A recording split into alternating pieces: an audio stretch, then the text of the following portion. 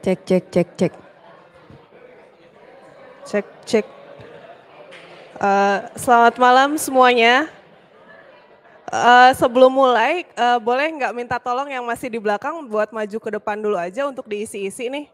Terus mungkin kalau yang agak ke pinggir takutnya nanti view-nya kurang bagus, jadi bisa ke tengah-tengah juga ya. Please, supaya nanti fotografernya bisa ngisi juga, bisa foto lebih bagus juga. Yuk.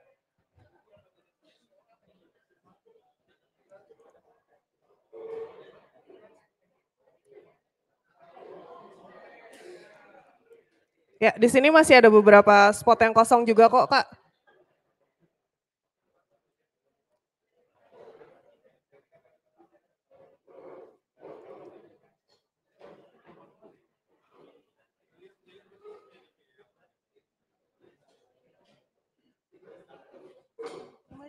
Boleh, boleh. Di tengah itu masih ada, Kak. Berapa banyak? Takutnya ke blok view-nya nanti di sini kurang bagus. Nggak apa-apa, enggak kok Kak, masih banyak spotnya. Silakan, silakan. Tes, tes, tes, tes.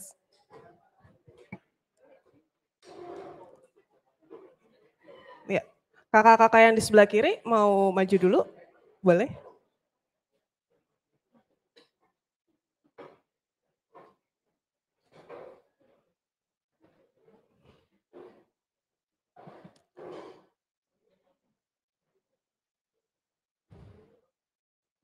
Oke.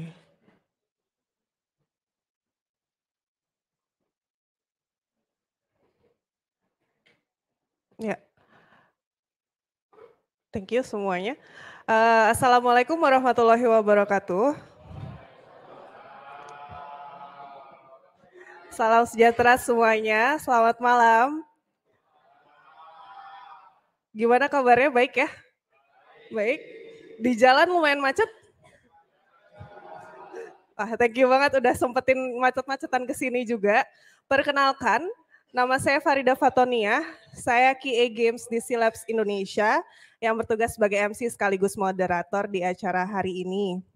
Selamat datang di event online offline uh, Silabs Indonesia yang berkolaborasi dengan Indonesian Software Quality Assurance atau ISKA hari ini yang bertop, membawakan topik uh, Exploring Automation Testing and QA's Impact on Games Development. Uh, kita tuh excited banget hari ini bisa ngadain offline event uh, setelah pandemi and then acara-acara Zoom-Zoom yang biasanya gitu ya. Kita harapannya setelah acara ini bisa menambah networking, wawasan, insight, ataupun sharing-sharing knowledge yang berkaitan dengan QA terutama ya. Sebelum proceed, Uh, saya mau mengundang perwakilan dari ISKA yaitu Kak Maya untuk memberikan sambutan ke depan sini dulu. Ya, silakan Kak.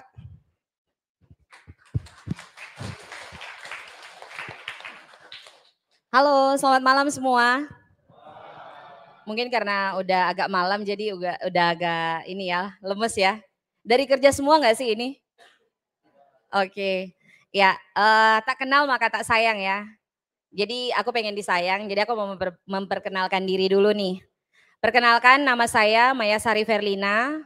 Uh, mungkin ada beberapa yang uh, teman-teman yang di sini sudah kenal dan kalau misalnya belum kenal, saya QE di Squadap, tapi uh, sebagai instruktur juga untuk CTFL IS2QB. Jadi buat teman-teman yang uh, mungkin secara QE experience, mungkin teman-teman yang di sini yang lebih uh, ini ya lebih lama sebagai QE, dan um, perlu diketahui, aku belajar QE uh, benar-benar bukan dari uh, universitas. Dan kalau secara background saya SPD, tapi tertarik banget dengan dunia QE. Makanya saat ini uh, menggeluti banget untuk di bidang QE. Jadi buat teman-teman juga, kalau misalnya um, pernah dengar untuk uh, training CTVL, itu saya untuk uh, yang membawakan modul dalam bahasa Indonesia untuk materi uh, training CTFL ini. Jadi buat teman-teman QE yang sudah lama jadi seorang QE, belum tersertified secara internasional, boleh menghubungi Squadap ya. Nah, teman-teman di sini saya mewakili uh, Mbak Reva. Kebetulan beliau tidak bisa hadir. bersama-sama dengan kita karena beliau lagi uh, bertemu dengan salah satu klien kami di uh, restoran management company di, Je di Jepang. Kemudian beliau juga lagi menghadiri uh, meeting board uh, IS2QB seluruh dunia dan itu diadakan di Jepang. Jadi uh, beliau mohon maaf tidak bisa hadir bersama teman-teman, tapi beliau juga hadir di streaming. Jadi uh, saya ingin menyapa teman-teman sekalian yang ada di sini untuk uh, kita semua pasti beda-beda untuk pengalamannya. Jadi beruntung kita saat ini bisa ada dengan teman-teman Silabs ya. Jadi bisa bertukar ilmu. Jadi buat teman-teman yang baru pertama kali join juga uh, dengan uh, Meetup ISKA, Nah ini mungkin ke depannya kita akan setiap bulan. Jadi mungkin teman-teman yang mau jadi speakers, uh, mau juga kayak oh kita pengen nih uh, dari company kita untuk ngadain kayak C-Labs nih untuk join dengan ISKA, bisa langsung hubungin Mbak Reifa. Seperti itu. Dan um, buat teman-teman, sekali lagi saya akan buka acara ini dan enjoy ya buat teman-teman. Sekali lagi serap ilmu sebanyak mungkin. Kalau misalnya uh, jangan kaku karena ini kita sharing section ya. Jadi apa pun yang kalian mungkin secara uh, teori atau materi hmm, kita sudah pernah dengar gitu ya. Mungkin seperti itu. Tapi kan penyampaian setiap orang berbeda-beda. Jadi buat teman-teman enjoy ya untuk malam ini dan selamat untuk uh, menikmati acara selanjutnya. Terima kasih.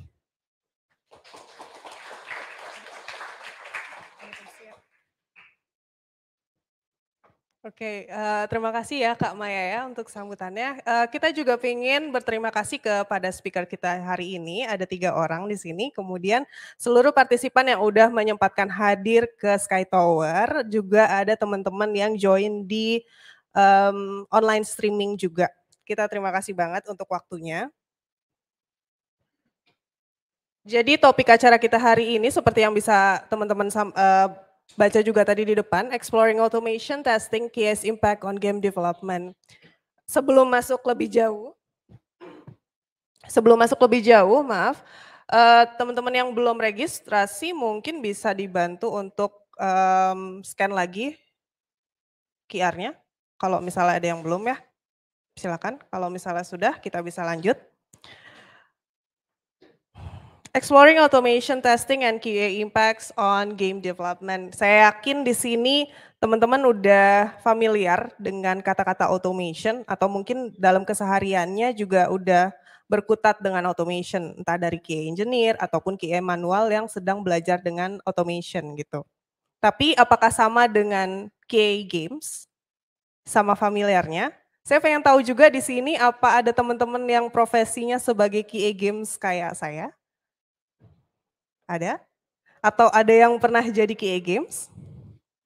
Wah, menarik berarti nih. Jadi nanti yang dibawakan sama materi kita bisa mungkin nambah wawasan teman-teman yang belum familiar dengan QA Games. Apa sih QA Games itu, ngapain aja, apakah cuma main-main games aja atau yang lain sebagainya, nanti kita bisa tahu dari penyampaian materi yang akan dibawakan oleh kakak-kakak. Sebelum masuk ke acara lebih lanjut, saya mau share dulu terkait dengan agenda ya hari ini. Kita tadi mulai mulai 19.15, nanti akan talk show sampai jam 20.30. Kemudian akan dilanjutkan Q&A session di 20.30 sampai 20.45. Lanjut di 20.45 sampai 21.15 bisa dilanjut uh, networking session dan juga foto session ya di networking session itu teman-teman bisa lanjut membahas tentang materi yang udah disampaikan dari teman-teman pemateri ataupun juga kalau misalnya mau tanya-tanya uh, mengenai labs bisa ke uh, eh, HR nanti bisa dibantu oleh teman-teman HR yang berbaju putih gitu. Atau mungkin kalau misalnya mau ada pertanyaan yang belum bisa disampaikan tadi di eh, di saat Q&A session bisa in person juga ataupun in forum kayak gini juga boleh. Jadi nanti teman-teman pemateri akan menyampaikan materinya semua dulu satu persatu sampai selesai.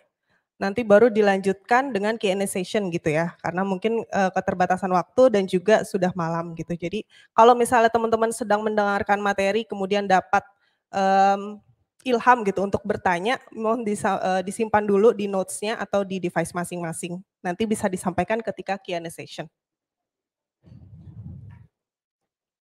Saya sudah sampaikan tadi ada tiga pemateri eh, yang relate banget di bidangnya dan juga expert lah ya di marketnya. Saya I believe ya. Saya akan perkenalkan terlebih dahulu. Di sini ada tiga speaker. Yang pertama dengan Kak Erlini Chan. Halo Kak Erlini Chan, bisa berdiri dulu? Ya, thank you. Kak Erlini Chan ini adalah QA Engineer di Katalis yang sudah berprofesi sebagai QA sejak 2015. Betul ya Kak ya?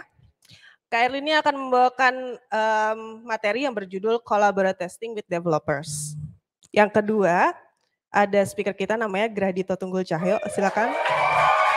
Wow.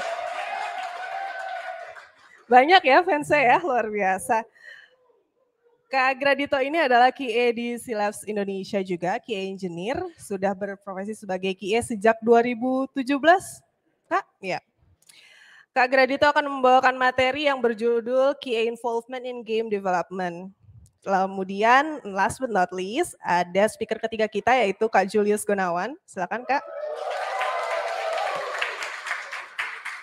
Thank you Kak Julius. Kak Julius adalah QA Engineer juga di Silabs Indonesia bersama dengan Kak Gradito ya. Nanti Kak Julius akan membawakan materi yang berjudul Enhanced Automation Testing Strategy and Metrics. Thank you semuanya. So, without further ado, let's start the talk show. Kak Erlini, bisa dimulai? Silakan.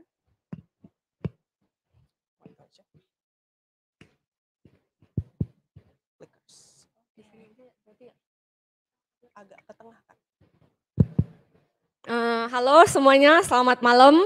Em, Oke, eh, mungkin hari ini saya ingin sharing sedikit tentang collaborate testing with developer.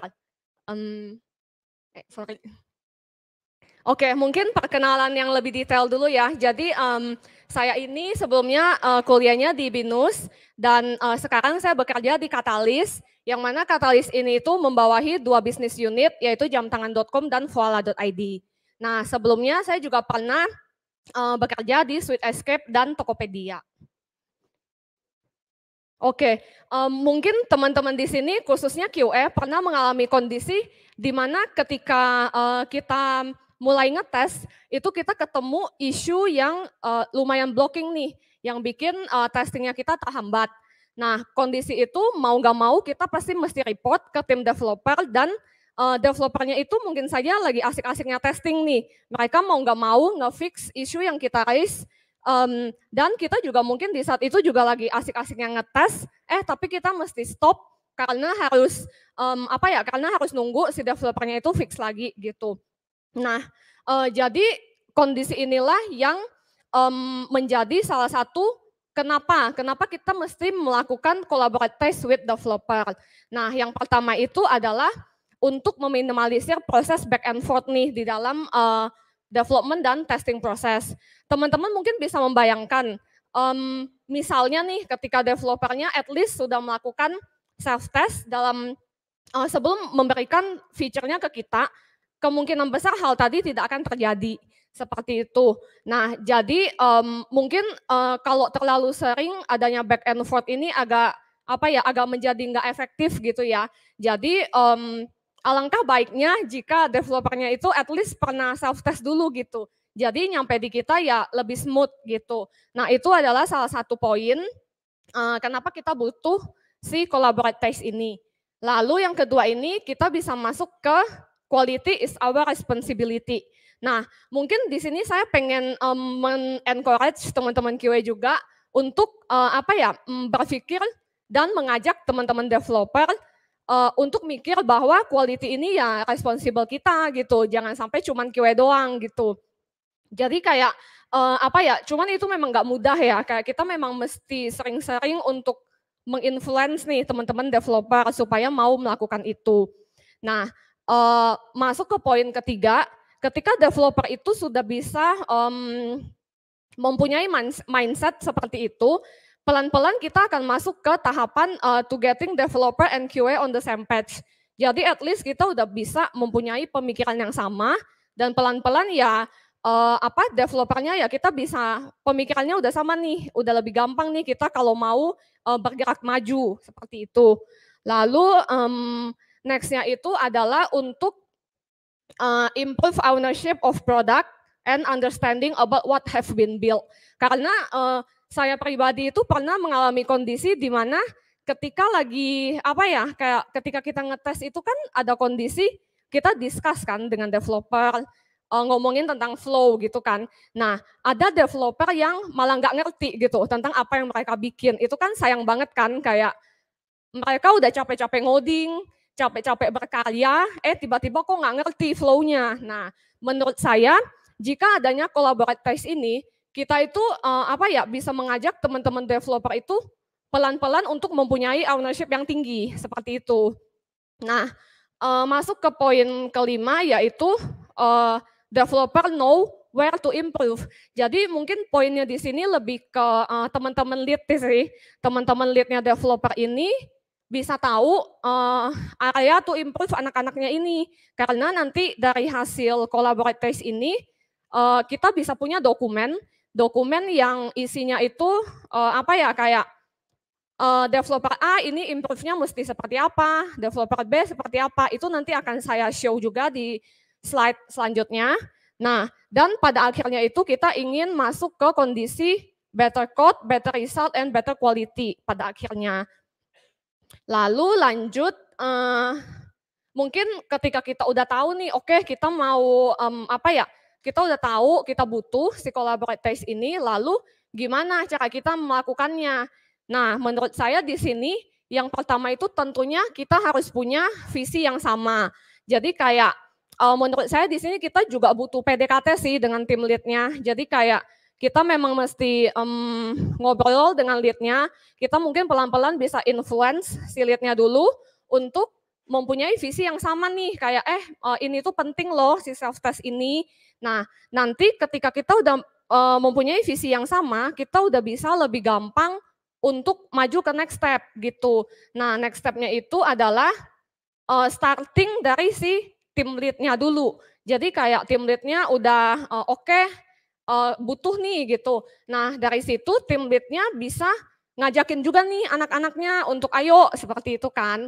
Nah nanti uh, nextnya itu setelah kita dan tim leadnya udah mempunyai uh, pemikiran yang sama, itu kita bisa maju ke proses ini.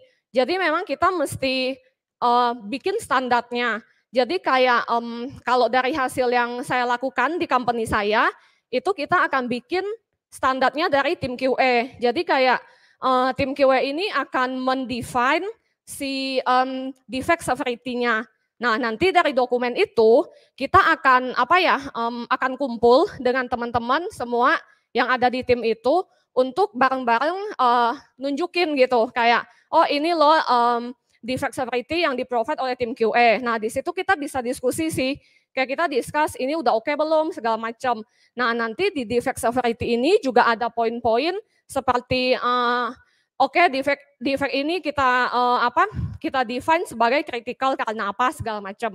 Nah nanti uh, dari situ uh, bisa aja terjadi mungkin uh, developernya nggak setuju gitu. Nah itu nggak apa-apa. Jadi kita lebih ke kayak discuss Terus standarnya kita lock. Jadi kita di sini juga making agreement nih. Jadi kayak oke okay, kita jalan ya dengan uh, apa kondisi ini gitu. Nah ketika udah oke okay, ini semua dan kita jalan, tentunya nanti nextnya akan ada hasilnya.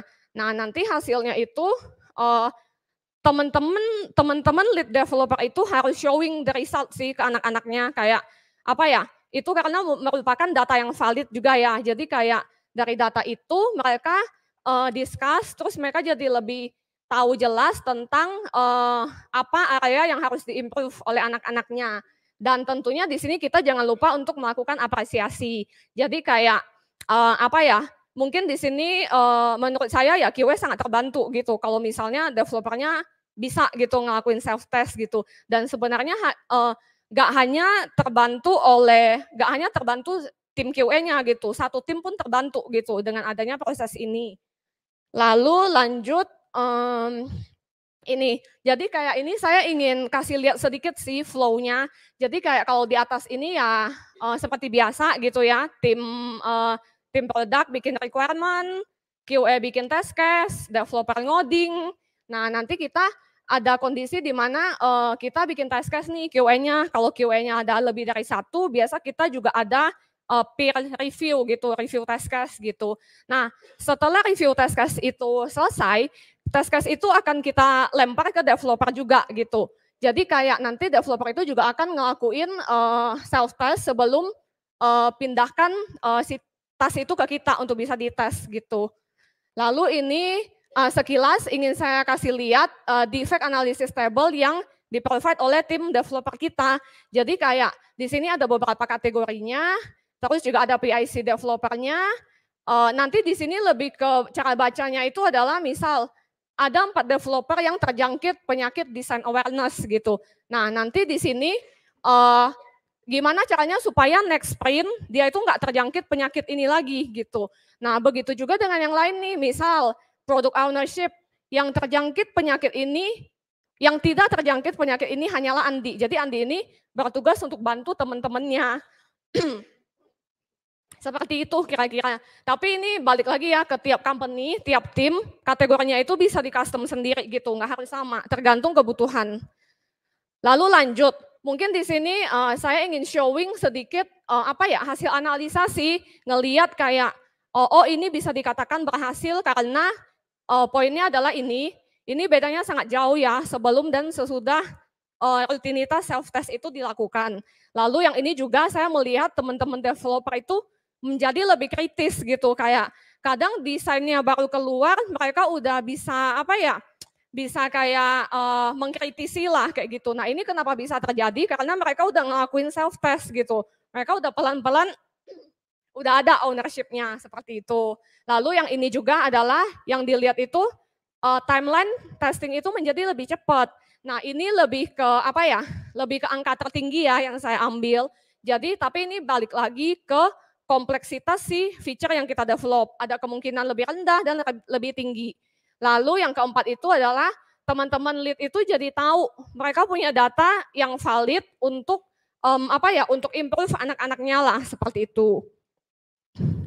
Lalu lanjut lanjut ke uh, ini mungkin teman-teman khususnya QA ada kekhawatiran gitu ya kayak kalau misalnya developernya udah pada self test terus QA-nya ngapain dong seperti itu. Nah, menurut saya uh, poin yang harus kita highlight di sini adalah kita harus tahu batasan-batasan mana yang harus dilakukan oleh developer dan QA gitu. Jadi kayak uh, eh, QA ya selain uh, kalau misalnya developernya self test mereka nggak sengetesnya kita kayak gitu. Uh, testingnya edge case atau user behavior, multiple platform, kalau kita punya misalnya development di apps, itu juga masih harus QA yang cover kayak gitu. Dan kita juga masih bertugas untuk build automation test kayak gitu kan, API test, performance test, dan segala macam. Nah, um, jadi yang yang ingin saya sharingkan di sini uh, gak terlalu banyak ya, jadi kayak lebih ke general apa ya ya pembahasan general aja lah. Cuman di sini uh, saya pengen nge-encourage teman-teman QA khususnya ya untuk bisa uh, apa ya uh, influence teman-teman developer untuk melakukan self test gitu. Karena saya pribadi merasa uh, apa ya lumayan terbantu gitu dan gak hanya cuman QA yang terbantu tapi satu tim satu tim itu sangat-sangat terbantu gitu. Yang jelas kita harus tahu jelas batasan mana yang harus dilakukan oleh QA dan developer jadi kayak jangan capek-capeknya untuk influence teman-teman developernya untuk ngelakuin uh, apa si self test tadi gitu. Um, saya kira ya udah segitu aja sih yang ingin di sharing. Semoga bermanfaat buat teman-teman semua. Thank you. Kecepatan gak ya aku ngomong? Ya, thank you so much Kak Erlini untuk materinya. Kita jadi tahu banget nih kalau misalnya collaboration testing with developers atau self-test itu berguna, nggak cuma um, bagi QA tapi juga buat developers karena ownership-nya bisa bertambah juga. Kemudian kita bisa jadi bisa cater isu-isu yang menjadi showstopper ataupun uh, major issue di fase-fase awal gitu ya. Uh, setelah bahas tentang self test, kita bisa masuk ke materi kedua ya tentang QA Games. Kan tadi banyak juga nih kayaknya yang belum familiar. Kita bisa bawakan oleh Kak Gradito. Silakan Kak Gradito.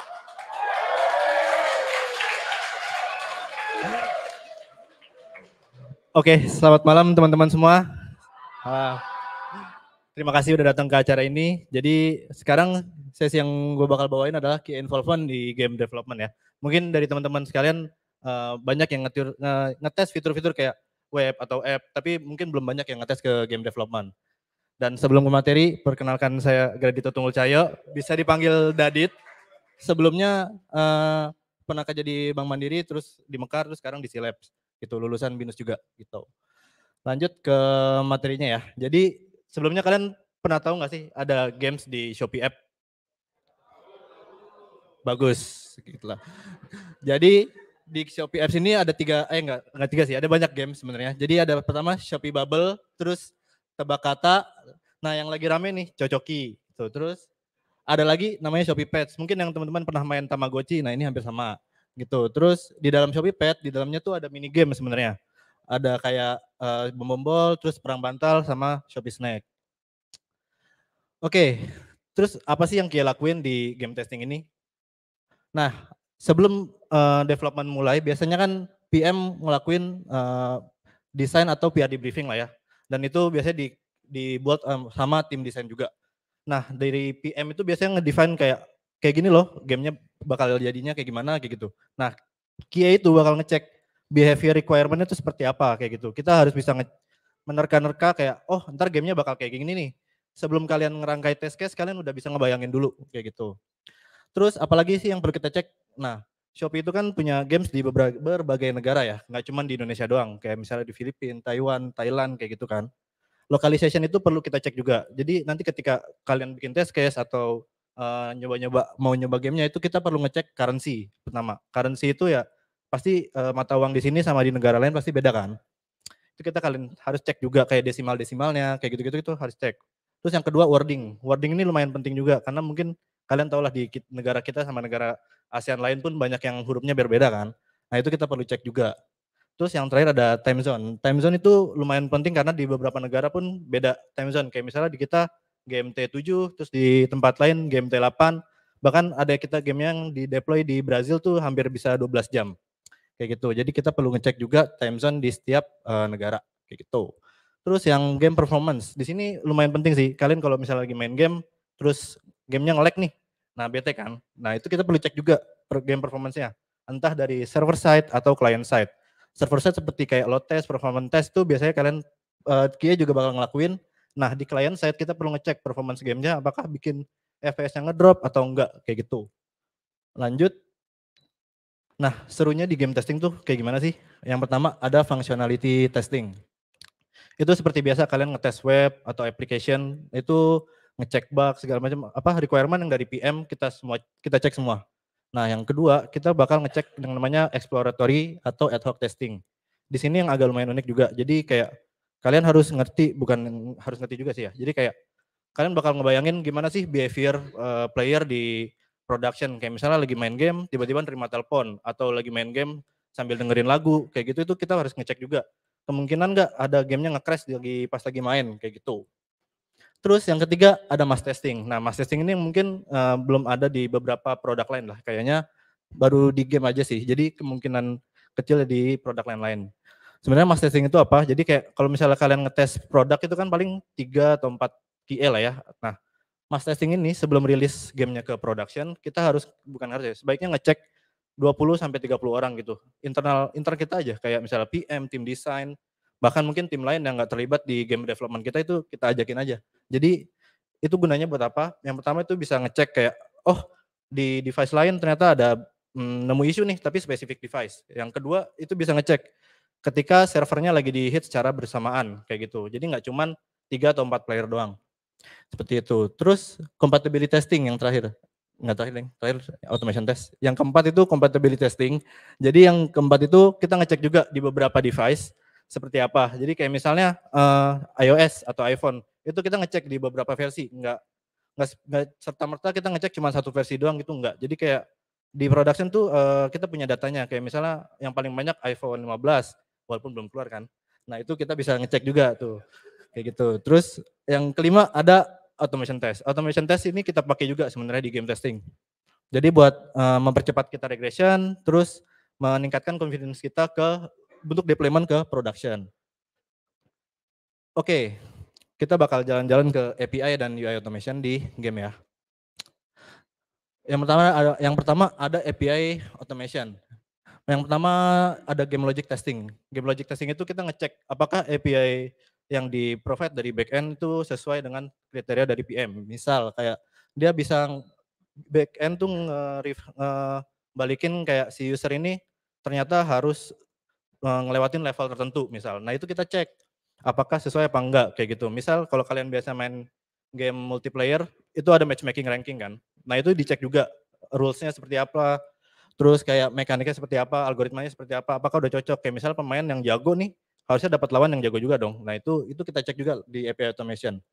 Nah yang kedua ada data validation. Di sini kita ngecek apakah uh, inventory player kayak misalnya uh, si user punya balance berapa di database terus dibalikin di API sesuai apa enggak. Jangan sampai ternyata dari backend uh, mungkin nggak sengaja ke hardcode kayak gitu. Nah itu bisa kedetek di API, di API automation juga. Terus ada lagi error handling. Nah ini misalnya dari backend nyedain ERD atau API contract. Terus kita hit pakai API automation yang banyak negatif skenario. Kayak misalnya harusnya 5 JSON key yang kita kirim, kita cuma kirim 4, kita kirim 3. Nah dari backend tuh nge-return seperti apa kayak gitu jangan sampai kita cuma return tiga nih taunya masih bisa uh, return 200 gitu kan nggak baik juga gitu. Ntar dari FE nge-handle seperti apa itu bisa kelihatan. Terus ada version compatibility. Nah ini ketika kita ngedevelop fitur baru atau version baru sebaiknya kan misalnya dari versi 1.2 ke 1.3 nah itu ada nambah 3 API misalnya. Dan 5 API lama itu harusnya nggak boleh kesenggol misal.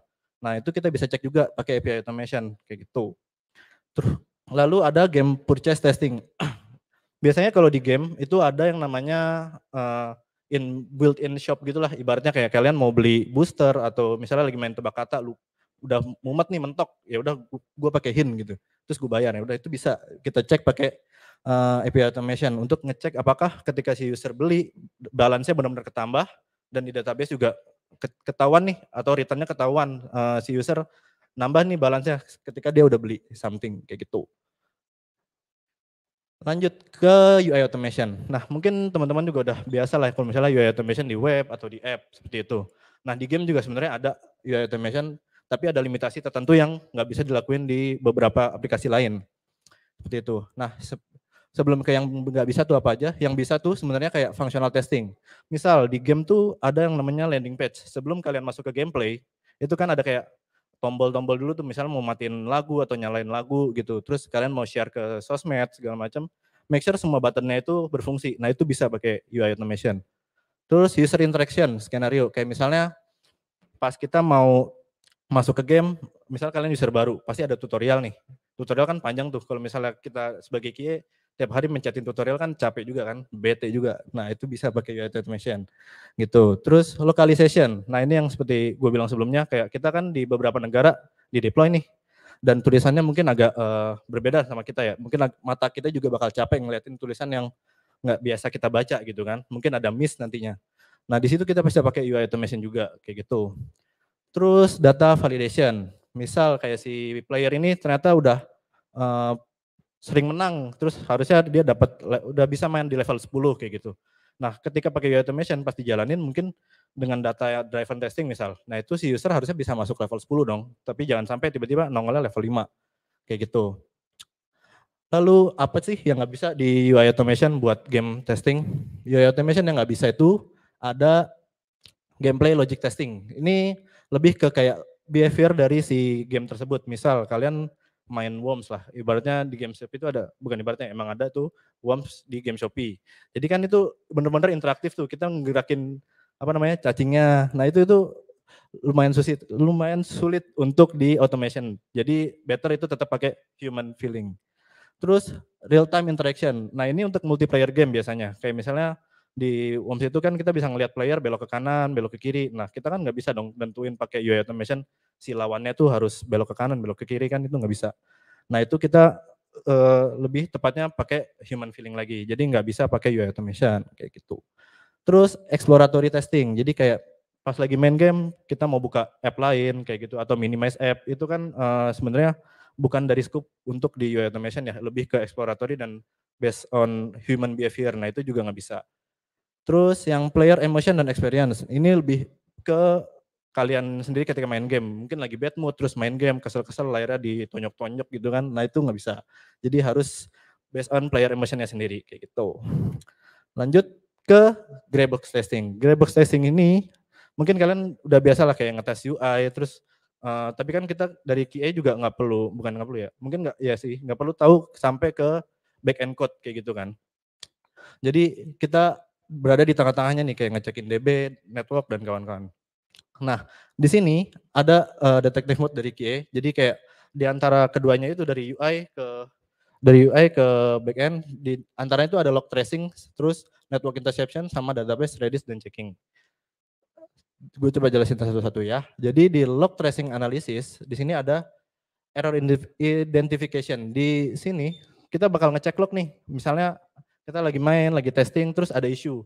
Nah itu kita bakal ngecek lognya seperti apa dan kita bisa provide hal-hal kayak gitu ke backend atau FA kayak gitu. Terus anomaly detection. Di sini kita bisa ngecek apakah ada anomali ketika kita lagi main game kayak gitu. Terus pola-pola tertentu kayak misalnya kita lagi main game terus tiba-tiba ada uh, isu terus kita harus cari root cause-nya seperti apa. Kita bisa ngecek di uh, log seperti apa terus nanti ketahuan nih oh di sini ada anomali kayak gitu. Itu bisa ketahuan. Terus bahkan sampai ada memory leak atau CPU leak di server tuh bisa ketahuan juga dari lognya kayak gitu. Terus event tracking, biasanya kan kalau misalnya kalian lagi tracking log tuh kelihatan nih misalnya satu baris log. Tapi biasanya kalian nggak uh, apa ya, nggak terpaku dalam hall dalam log itu doang kan. Pasti kalian ngecek dulu yang sebelumnya kayak gimana sih, terus yang setelahnya seperti apa. Jadi kayak uh, ngelihat si behavior si usernya sebelumnya ngapain dulu nih sebelum terjadi isu dan setelah terjadi isu dia biasanya ngapain kayak gitu itu bisa ketahuan. Nah dari situ kita bakal nge root cause analysis. Jadi kita bakal duduk bareng tim back end atau tim developer FA kayak gitu buat ngecek ini root cause-nya dari mana kayak gitu isunya. Terus ada network capture network atau network interception. Di sini kita bakal nge-capture antara uh, klien ke server. Ini berguna untuk nge-develop test case atau skenario yang mungkin agak sulit kita lakuin di game. Misal, untuk ngeklaim suatu hadiah kita harus main 100 kali. Nah itu kan susah tuh. Mendingan pas kita main satu dua kali kita intercept, terus kita bisa uh, kirim responsnya kalau kita udah main 100 kali ke backend. Itu bisa. Jadi daripada kalian main sampai 100 kali itu kan lebih capek seperti itu. Terus ada security testing. Kayak misalnya lagi main nih. Terus kalian udah kelar, pas submit score itu kita coba cek uh, beberapa value kita hilangin atau kita ganti. Nah, integrity antara backend sama data kan sama database itu kan bakal berbeda ya. Itu bak biasanya bakal di return something sama backend. Kalau misalnya, oh ini si user nggak valid nih, kayak gitu. Terus ada database dan Redis checking juga. Di sini ada data integrity testing. Ini biasanya kita cek buat uh, misalnya si user udah main 10 kali atau punya skor 2000 kayak gitu. Nah itu kita cek nih si DB beneran ke replicate atau beneran ke store nggak data si user itu. Terus ada data retrieval. Di sini buat ngecek apakah si si user ini benar-benar uh, misalnya win rate-nya apa di atas 80%. Kita bakal ngecek nih dari DB si user A ini beneran enggak 80% gitu. Kita calculate itu bisa ada rumusnya. Kayak gitu. Terus data modification testing. Ini hampir sama kayak network network interception, tapi ini kita lewat database. Kayak misalnya bisa jadi kayak kita ngecek si user ini pas ganti avatar atau beli something itu uh, ke store datanya benar-benar di DB. Jangan sampai misalnya dia ganti avatar, taunya uh, avatarnya nggak keganti kayak gitu. Ternyata di DB nggak ke write kayak gitu itu bisa. Terus cache. Nah di game juga tuh ngelakuin yang namanya redis atau caching. Kita ngecek cache-nya ini ke store dengan baik apa enggak di uh, di redisnya itu sendiri. Terus ada key expiration. Biasanya kalau misalnya redis itu kan ada time to life ya. Kayak misalnya satu key itu bakal hidup selama 60 detik Nah jangan sampai dia hidup selamanya di Redis itu kan. Nah itu kita harus cek kayak gitu. Terus yang integration testing ini ngecek apakah benar-benar ketika si game itu selesai, misal pas game kelar, itu benar-benar nge-write ke Redis apa enggak. Itu kita benar-benar ngecek semua skenario yang uh, masuk ke Redis itu seperti apa. Kayak gitu. Oke, lanjut ke performance test di dalam game. Nah, di game sendiri itu ada tiga jenis protokol biasanya kita tes buat performance test ya. Yang pertama ada HTTP yang biasa kalian lakuin juga. Nah, yang kedua ini ada WebSocket yang mungkin uh, kalian belum terlalu banyak familiar. di sini gue coba jelasin. Jadi WebSocket di sini itu biasanya game buat multiplayer. Nah, multiplayer game di sini uh, biasanya kan kalian bisa ngelihat lawan kalian belok ke kanan, belok kiri secara real time. Nah, itu yang dilakukan oleh WebSocket. Jadi kayak kita bisa berkomunikasi dua arah. Kalau API kan HTTP kita tembak balik lagi udah gitu kan. Kalau WebSocket itu enggak, kita bisa ngelihat mereka, mereka bisa ngelihat kita kayak gitu. Terus gRPC, gRPC ini apa? Ini hampir sama kayak HTTP tapi lebih uh, baru lagi dan dia di develop sama Google dan dia biasanya lebih cepat kayak gitu secara request durationnya. Yang metrik-metrik yang perlu dicek tuh seperti ini ya. Kalau HTTP kalian udah biasa.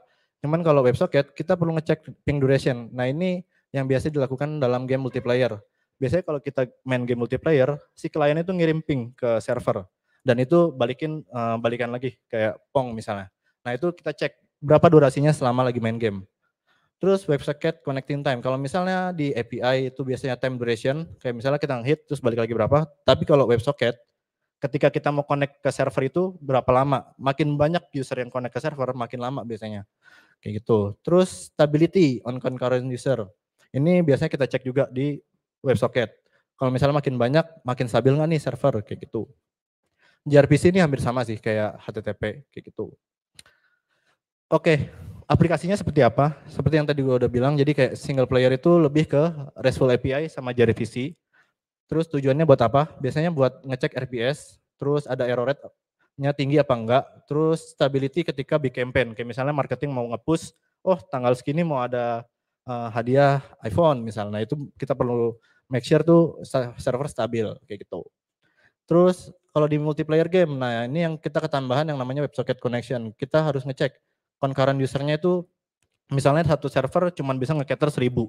Terus uh, dari marketing ada target kira-kira bakal ada 10.000 nih. Berarti kita harus naikin 10 server. Itu kan lebih ke vertical uh, horizontal scale. Kalau misalnya nanti kita kerjasama sama SRI, kita bisa mau vertical scale apa enggak kayak gitu. Naikin RAM, naikin CPU.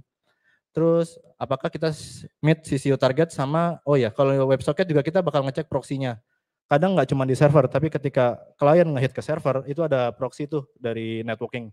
Itu bottleneck apa enggak, itu bisa dicek juga. Kayak gitu. Terus apalagi sih selain performance test yang biasa dilakuin, itu ada namanya shock test. Shock test ini kita bakal ngetes si load test si server nggak cuma semenit dua menit, tapi sampai tiga jam misal atau empat jam. Karena apa? Karena kalau multiplayer game itu kita butuh stability kan. Misalnya kayak dalam waktu 4 jam nih di hit sama 5000 user jangan sampai servernya nge-restart kayak gitu. Itu yang namanya shock test. Terus itu bisa ketahuan juga kalau misalnya ada CPU leak atau memory leak, memory leak. Nah, itu ketahuan di shock test nantinya. Terus FPS, FPS ini buat di client side ya. Jadi kayak frame per second ini kita bakal ngecek si game ini kalau misalnya di HPA terus main setengah main sekali dua kali masih aman, main ketiga sampai ke 10 kali itu udah nge-lag. Nah, itu kita perlu uh, kabarin tim FA juga atau tim game engineer. Jadi kayak mereka harus bisa optimasi itu juga. Terus resource utilization, jadi CPU, GPU, memory, disk usage ini juga kita perlu cek jangan sampai gamenya bisa crash di tengah jalan. Oke, okay, challenge di QA untuk games ya. Jadi yang pertama ada device compatibility seperti biasa. Jadi kayak di production banyak banget uh, device yang bertebaran kan. Kita nggak bisa ngecekin satu-satu. Jadi mungkin pasti ada isu-isu dari uh, game apa device-device spesifik kayak gitu. Terus level replication. Ketika level replication itu maksudnya ketika kita nge-develop game, game itu pasti ada levelnya. Jadi kayak uh, level-level tertentu ini bikin user bete apa enggak, bikin user seneng apa enggak, kayak gitu-gitu tuh kita perlu cek juga. Terus user eh sorry pencet. Terus user behavior simulation. Nah ini kayak di production kan uh, perilaku player bakal beda-beda ya. Jadi mungkin kita bakal uh, mencoba se explore dieksplor sebanyak mungkin kemungkinan-kemungkinan yang ada di production. Terus ada big campaign testing. Ini kalau misalnya dari marketing mau ada push, itu bisa kita cek juga kayak ke availability server seperti apa. Nah itu kita perlu prepare dari jauh-jauh hari. Oke, okay, monitoring di production. Jadi biar player yang nggak banyak yang bete, kita harus ngecek servernya sehat apa enggak gitu. Ini biasanya kita kerja sama-sama tim SRI atau DevOps gitu.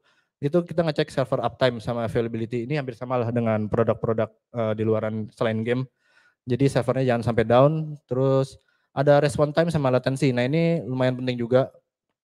Hampir sama juga dengan produk lain. Kalau di game misalnya kalian main multiplayer game, taunya latensinya tinggi, bete juga kan pas lagi mau menang taunya nge-lag gitu internetnya. Nah itu bete juga. Terus player traffic. dalam concurrent user nih usernya banyak banget misalnya. Kita ngecek, oh playernya udah enam- udah sampai 9000 nih, capacity limitnya sampai 10000 misal. Nah itu kita harus mau nambahin server apa enggak, itu bisa kita langsung eh, discuss sama tim SRI juga baiknya seperti apa. Nah terus kalau ada isu, ada isu kita bakal ngecek yang namanya server log. Server log sama event. Di sini kita ngecek isunya seperti apa, terus kita ngecek di log seperti apa. Terus kita lihat juga nih si A misalnya, oh sebelumnya dia ngelakuin ini nih, yang sebenarnya kok harusnya nggak bisa dilakuin. Nah itu mungkin ada pernah ada bisa jadi ada abuse dari player tersebut kayak gitu. Terus incident response. Nah ketika ada isu kita harus tahu juga SOP-nya seperti apa. Misal eh, servernya nge-restart segala macam atau servernya crash, kita bisa kerjasama sama BE, sama SRI atau DevOps itu buat ngecek apakah eh, kita harus kita harus ngelakuin apa sih buat mitigation plan kayak gitu. Oke, segitu dari saya level complete. Jadi nanti lanjut ke Q&A ya. Thank you.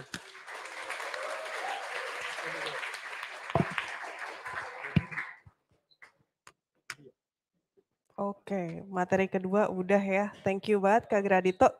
Eh, jadinya kita bisa tahu juga dari sudut pandang Kak Gradito kalau QA Games itu bukan serta-merta cuma mainin game aja, terima jadi, terima beres dari developer, tapi juga sampai ke log tracing, kemudian readiness checking. Eh, kita juga bisa nganalisis gimana sih stability atau performance dari pe- games-games kita gitu. Kalau misalnya terutama lagi ada big campaign.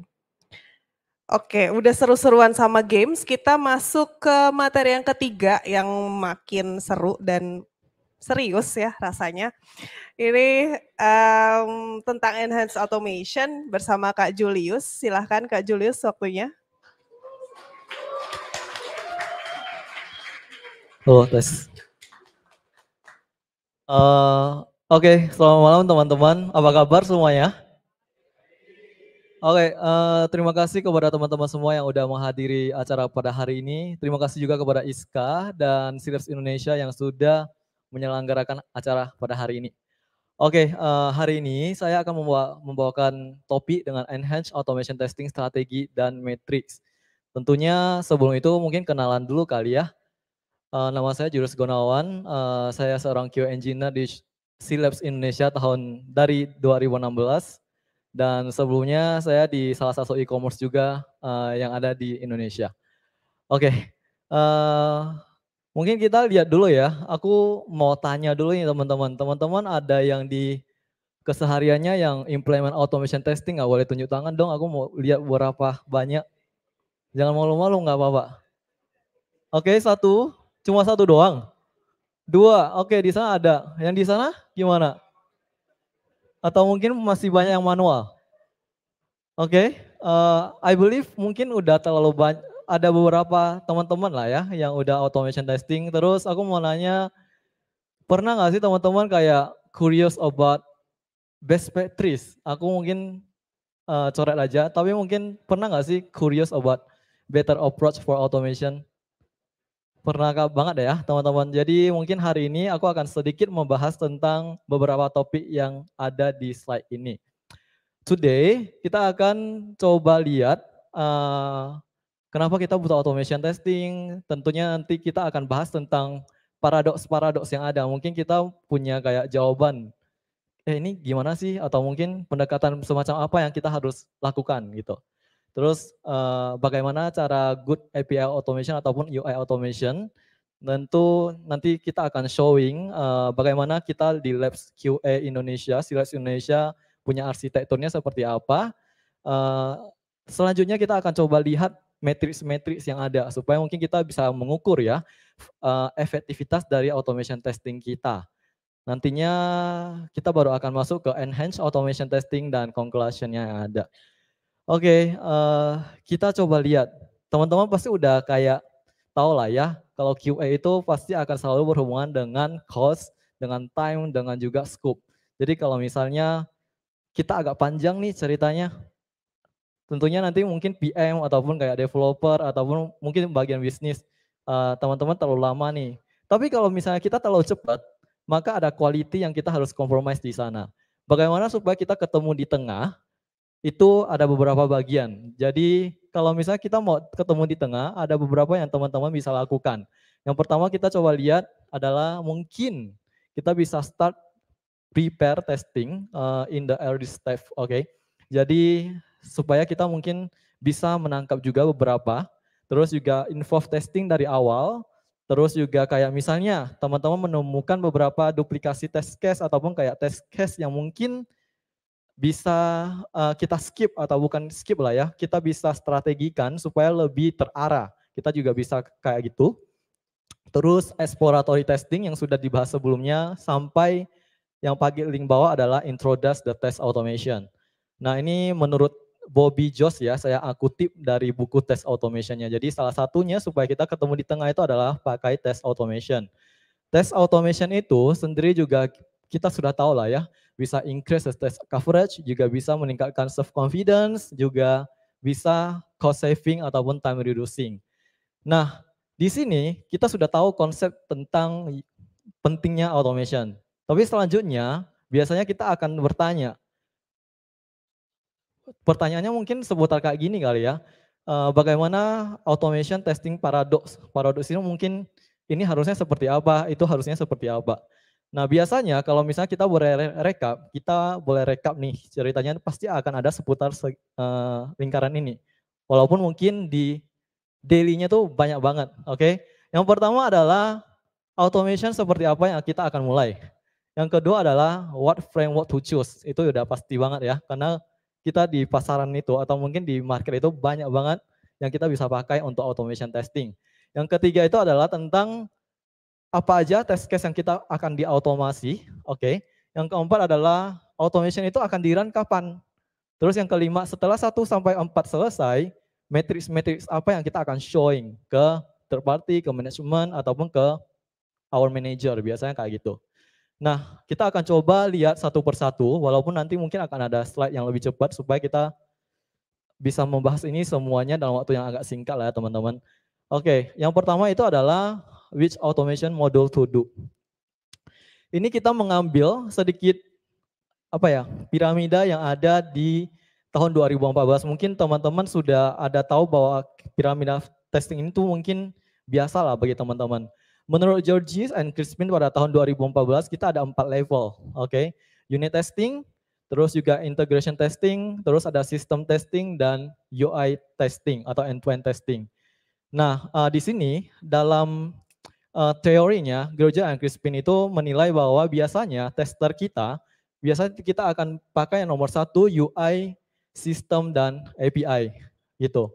Jadi kalau misalnya teman-teman punya pertanyaan yang mana yang kita, akan kita mulai dulu, di piramida menggambarkan kalau misalnya kita makin ke atas harusnya teman-teman udah tahu effortnya pasti akan lebih banyak. Kalau misalnya kita paling bawah mulai dari paling bawah artinya mungkin kita akan lebih cepat mengerjakan itu. Maka di Labs QA biasanya kita akan mulai dari nomor 2. Nah this one di Labs QA itu integration testing itu kita akan mulai dari developer. Mungkin teman-teman punya pertanyaan lah ya, bedanya sistem testing sama integration testing itu seperti apa? Jadi uh, kurang lebihnya agak-agak sama, cuma integration testing itu adalah developer. Kalau di Labs QA itu biasanya dilakukan sama developer. Integration testing itu kita baru mau mulai uh, ketika misalnya developer mau write the test case gitu.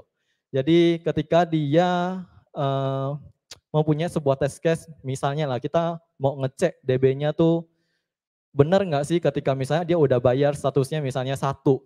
Nah biasanya kan kayak gitu, yang lebih teknikal itu biasanya masuk ke integration testing.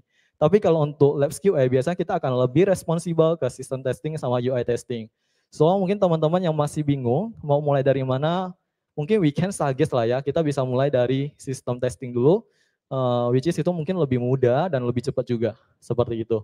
Baru nanti kita mulai ke level yang di atasnya lagi. Nextnya mungkin framework seperti apa yang kita akan coba pilih. Kalau untuk di Labs QA sendiri itu kita uh, apa ya melakukan beberapa analisis lah ya. Dan sebelum kita memilih automation testing framework semacam apa, mungkin ada beberapa yang kita filter. Tentunya mungkin yang pertama adalah usability-nya. Uh, terus yang kedua tentang fungsionalitasnya, terus yang ketiga itu adalah compatibility-nya. Jadi apakah compatible dengan developer misalnya pakai framework A itu kompatibel nggak dengan framework yang kita akan pakai. Yang keempat itu tentang maintainability. Ke depannya kalau misalnya kita mau upgrade di framework itu mungkin tersedia nggak seperti itu ya. Terus yang selanjutnya itu adalah cost, karena ini penting. Jadi mungkin ada semacam stigma juga kalau misalnya kita pakai open source dengan kita yang pakai yang berbayar itu seperti apa. Jadi mungkin nanti kita akan bahas di akhir lah ya teman-teman.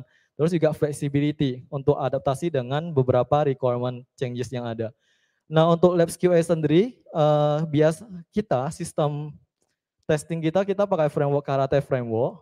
Terus UI testing kita kita pakai WebDriver IO, Combine Appium. Terus juga untuk games kita lagi ada di Cypress atau juga ada beberapa uh, internal juga yang kita bangun untuk games automation ya.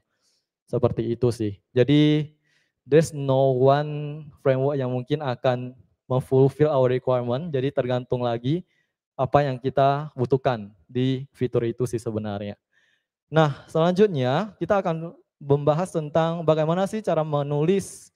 Saya nggak katakan ini udah pendekatan yang paling bagus ya, mungkin good lah ya, istilahnya good API ataupun automation test case. Nomor satu itu adalah, poin yang pertama itu adalah bagaimana kita memilih test case selection. Jadi kembali lagi ke poin tiga, test case semacam apa yang kita akan tulis itu adalah satu, yang test case yang mungkin sering banget kita kayak lakukan berulang-ulang, teman-teman. Ataupun mungkin uh, test case yang mungkin attendantnya tuh uh, sering menyebabkan human error. Jadi bukan hanya prioritas-prioritas nol, tapi mungkin beberapa kriteria-kriteria ini yang kita akan tulis. Jadi salah satu contohnya itu juga bukan hanya prioritas nol, tapi mungkin prioritas satu juga bisa masuk ke test case kita, prioritas dua juga masuk ke uh, test case kita. Jadi tergantung lagi, uh, biasanya test case selection itu mungkin harus pandai-pandai pilih ya. Jadi kalau selama test case itu berhubungan dengan repetitif, preparation datanya mungkin sulit, mungkin teman-teman bisa consider itu untuk di automate seperti itu. Yang kedua itu adalah kita harus menghindari beberapa kayak redundancy yang ada. Teman-teman mungkin setuju lah ya kalau misalnya ada beberapa case kan biasanya tuh ada yang redundant. Maka teman-teman udah pasti bisa tahu lah ada yang nulis function, ada yang buat kelas, modul, segala macamnya supaya mungkin kita akan enggak akan berulang-ulang. Nah, sama halnya di sini. Jadi ketika misalnya ada automation, automation yang ada misalnya ada cookies lah, ada feature lah atau segala macam lah gitu. Kita akan coba me-call uh, function-function yang sudah ada. Supaya apa? Supaya kita sebisa mungkin ketika nanti melakukan perubahan, kita tidak terlalu effort untuk men, me, apa ya, mengubah the script seperti itu. Itu yang kedua. Jadi mungkin bisa avoid redundancy yang ada. Nomor tiga, yang paling kita udah setuju lah. Kalau misalnya kita nulis automation, kalau misalnya nggak ada assertion itu seperti ya test case kita akan Eh, oke-oke uh, aja seperti itu ya. Jadi yang ketiga itu adalah assertion itu paling penting. Assertion seperti apa mungkin sudah jelasin Pak Dadir rekan saya sebelumnya. Tapi assertion seperti apa? Nah, tergantung teman-teman. Kalau misalnya API itu lebih ke arah respon code, terus juga bisa cek DB dan segala macamnya. Nah pentingnya kalau misalnya teman-teman di company teman-teman developernya sudah melakukan integration test nih ceritanya. Mungkin mungkin kayak misalnya apa ya ngecek DB atau ngecek Redis key-nya itu mungkin sudah merupakan ranahnya developer. Jadi kalau misalnya developer ini tidak melakukan integration testing, mungkin kita akan sedikit effort untuk melakukan assertion di sini. Jadi kembali lagi, tergantung yang poin pertama itu. Kalau misalnya uh, developer teman-teman sudah melakukan integration testing, maybe we can have only response status ataupun response scam yang ada di sini sih. Jadi itu mungkin sedikit gambaran lah ya, assertion semacam apa. Assertion sedip apa sih yang kita akan coba lakukan. Yang selanjutnya itu tentang kayak harus ada stat teman-teman. Jadi kalau misalnya nggak ada stat, biasanya tuh biasanya tuh test case hanya bisa running di pertama kali aja. Kalau misalnya yang kedua kali itu biasanya tuh akan gagal. Nah itu biasanya seperti apa? Case-case ini sering muncul ketika misalnya kita tidak clearkan statnya. Jadi misalnya nih, uh, ada misalnya tuh uh, bayar, terus kita enggak nge-clear keranjangnya, terus kita mau klik lagi, itu biasanya akan flaky tuh. Nah biasanya tuh pentingnya maintain your application state. Nah ceritanya seperti apa? Mungkin salah satu yang snip set, uh, snip code yang kita bisa lakuin itu adalah di sini tuh kita misalnya ada test case API nih. Uh, terus biasanya kita akan coba reset, reset user to the level one stage in one stage, in the first stage. Jadi ada level one terus stage satu. Biasanya kita akan lakukan ini supaya apa? Supaya tuh ketika dijalankan nextnya itu automationnya tetap enggak fail, jadi enggak flaky juga. Itu salah satu yang teman-teman yang bisa lakukan sih di script-script teman-teman. Uh, selanjutnya ini sangat penting, harusnya enggak ada data ini ya. Oke. Okay. Jadi di sini sangat penting uh, data driven testing di mana teman-teman bisa memasukin saya percaya lah bahwa semuanya setuju bahwa credential itu sangat penting bagi kita. Nggak bisa hardcode juga, tapi bagaimana sih strateginya supaya mungkin nextnya kita bisa tahu. Nah di Labs QA sendiri kita akan membagi itu membagi itu jadi dua macam. Jadi data-data yang lebih confidential kita akan taruh di suatu service kita uh, di bawah ini yang nanti bisa dipanggil. Jadi ketika kita panggil, ini username, password segala macam sudah ada. Terus kalau misalnya data yang lebih tidak sering berubah, tapi dipakai di beberapa function-function ataupun test cases yang ada, kita akan klasifikasikan ke beberapa hal yang ada. Di sini uh, kenapa tes datanya banyak? Karena kita ngetes semua negara ya, ada Brazil, Indonesia, Malaysia, Vietnam, jadi produk-produk kita juga di country beberapa country-country yang ada. Jadi kita harus pisahkan seperti itu sih. Uh, Nextnya kita coba lihat tentang, I believe mungkin teman-teman sering melakukan code review lah, atau peer review ya. Jadi itu juga sangat penting untuk teman-teman consider ketika teman-teman juga mau membangun suatu automation. Kalau misalnya teman-teman kalau uh, pakai beberapa bahasa yang mungkin JS lah atau Linter, teman-teman bisa consider untuk memakai beberapa Eh, hal-hal uh, yang ada. Di Labs QA sendiri itu biasanya kita akan otomatis mengset supaya misalnya tiket MR-nya itu otomatis harus ada Jira tiket ataupun description-nya tuh harus ada ataupun kayak misalnya kalau terlalu panjang kita akan tolak gitu. Itu supaya apa? Supaya code review kita atau peer review itu peer review kita tuh lebih lebih terarah lah. Jadi enggak sembarangan approve approve aja. Itu mungkin teman-teman bisa consider juga ke depannya. Oke, okay, uh, eh, nextnya kita mungkin akan showing ya beberapa arsitektur. Mungkin ini arsitektur dasar lah, nggak complicated banget. Tapi mungkin ke depannya yang kayak actualnya mungkin akan lebih complicated daripada ini. Tapi mungkin kalau teman-teman di company teman-teman merasa bahwa oke okay, aku harus mulai dari mana sih mobil API automation ataupun mengambil sistem itu mungkin bisa jadi reference kali ya teman-teman. So in belakang kelihatan lah ya Uh, beberapa yang bisa dikonsider itu adalah kalau misalnya di Labs QA itu untuk pertama-tamanya kita akan memakai pakai ini. Jadi QA ketika nge-push ke beberapa GitHub ataupun GitLab itu biasanya kita akan mipisahin yang mana yang API, yang mana yang UI, yang mana yang games. Terus nanti kita juga bisa pakai uh, eh, CI/CD kita, terserah teman-teman mau pakai mana. Jenkins kah, ataupun misalnya GitLab CI kah, ataupun kayak Circle CI juga boleh. Terus nanti kita akan running automation. Nah, running automation kita, kita pakai untuk dua service yang berbeda. Ada yang service level, yang bisa di scale, terus yang ada UI level juga. Nah, biasanya kan kalau misalnya testing UI, test case kita lumayan banyak tuh. Terus juga keterbatasan device ataupun keterbatasan browser itu kita akan pakai namanya QA server. Jadi uh, eh, QA server ini juga sudah lumayan lama dibangun, tapi kita juga integrate ke beberapa yang ada untuk di uh, enhance lagi. Misalnya kita pakai Selenium Grid ataupun STF ataupun kayak Epium untuk dikonekkan ke beberapa device yang ada. Tujuannya apa? Tujuannya kalau misalnya suatu hari atau tiap hari kita test case-nya lumayan lama nih teman-teman atau mungkin yang mau kita tes itu kan banyak produk kan ya. Jadi QA server ini kita bisa non-distribute beberapa browser ataupun beberapa device yang ada supaya nanti ke depannya bisa di scale juga. Nah, uh, kita juga mendevelop suatu service pribadi, misalnya QA custom script ini, supaya nantinya kita bisa lakukan di test case management kita, terus juga di database ataupun monitoring kita yang mungkin nantinya saya akan bahas tentang matrix matrix itu. Jadi mungkin ini ada arsitektur dasar lah yang mungkin bisa dilakukan sama teman-teman. Seperti itu sih. Aku akan mungkin bahas sekilas lah ya teman-teman.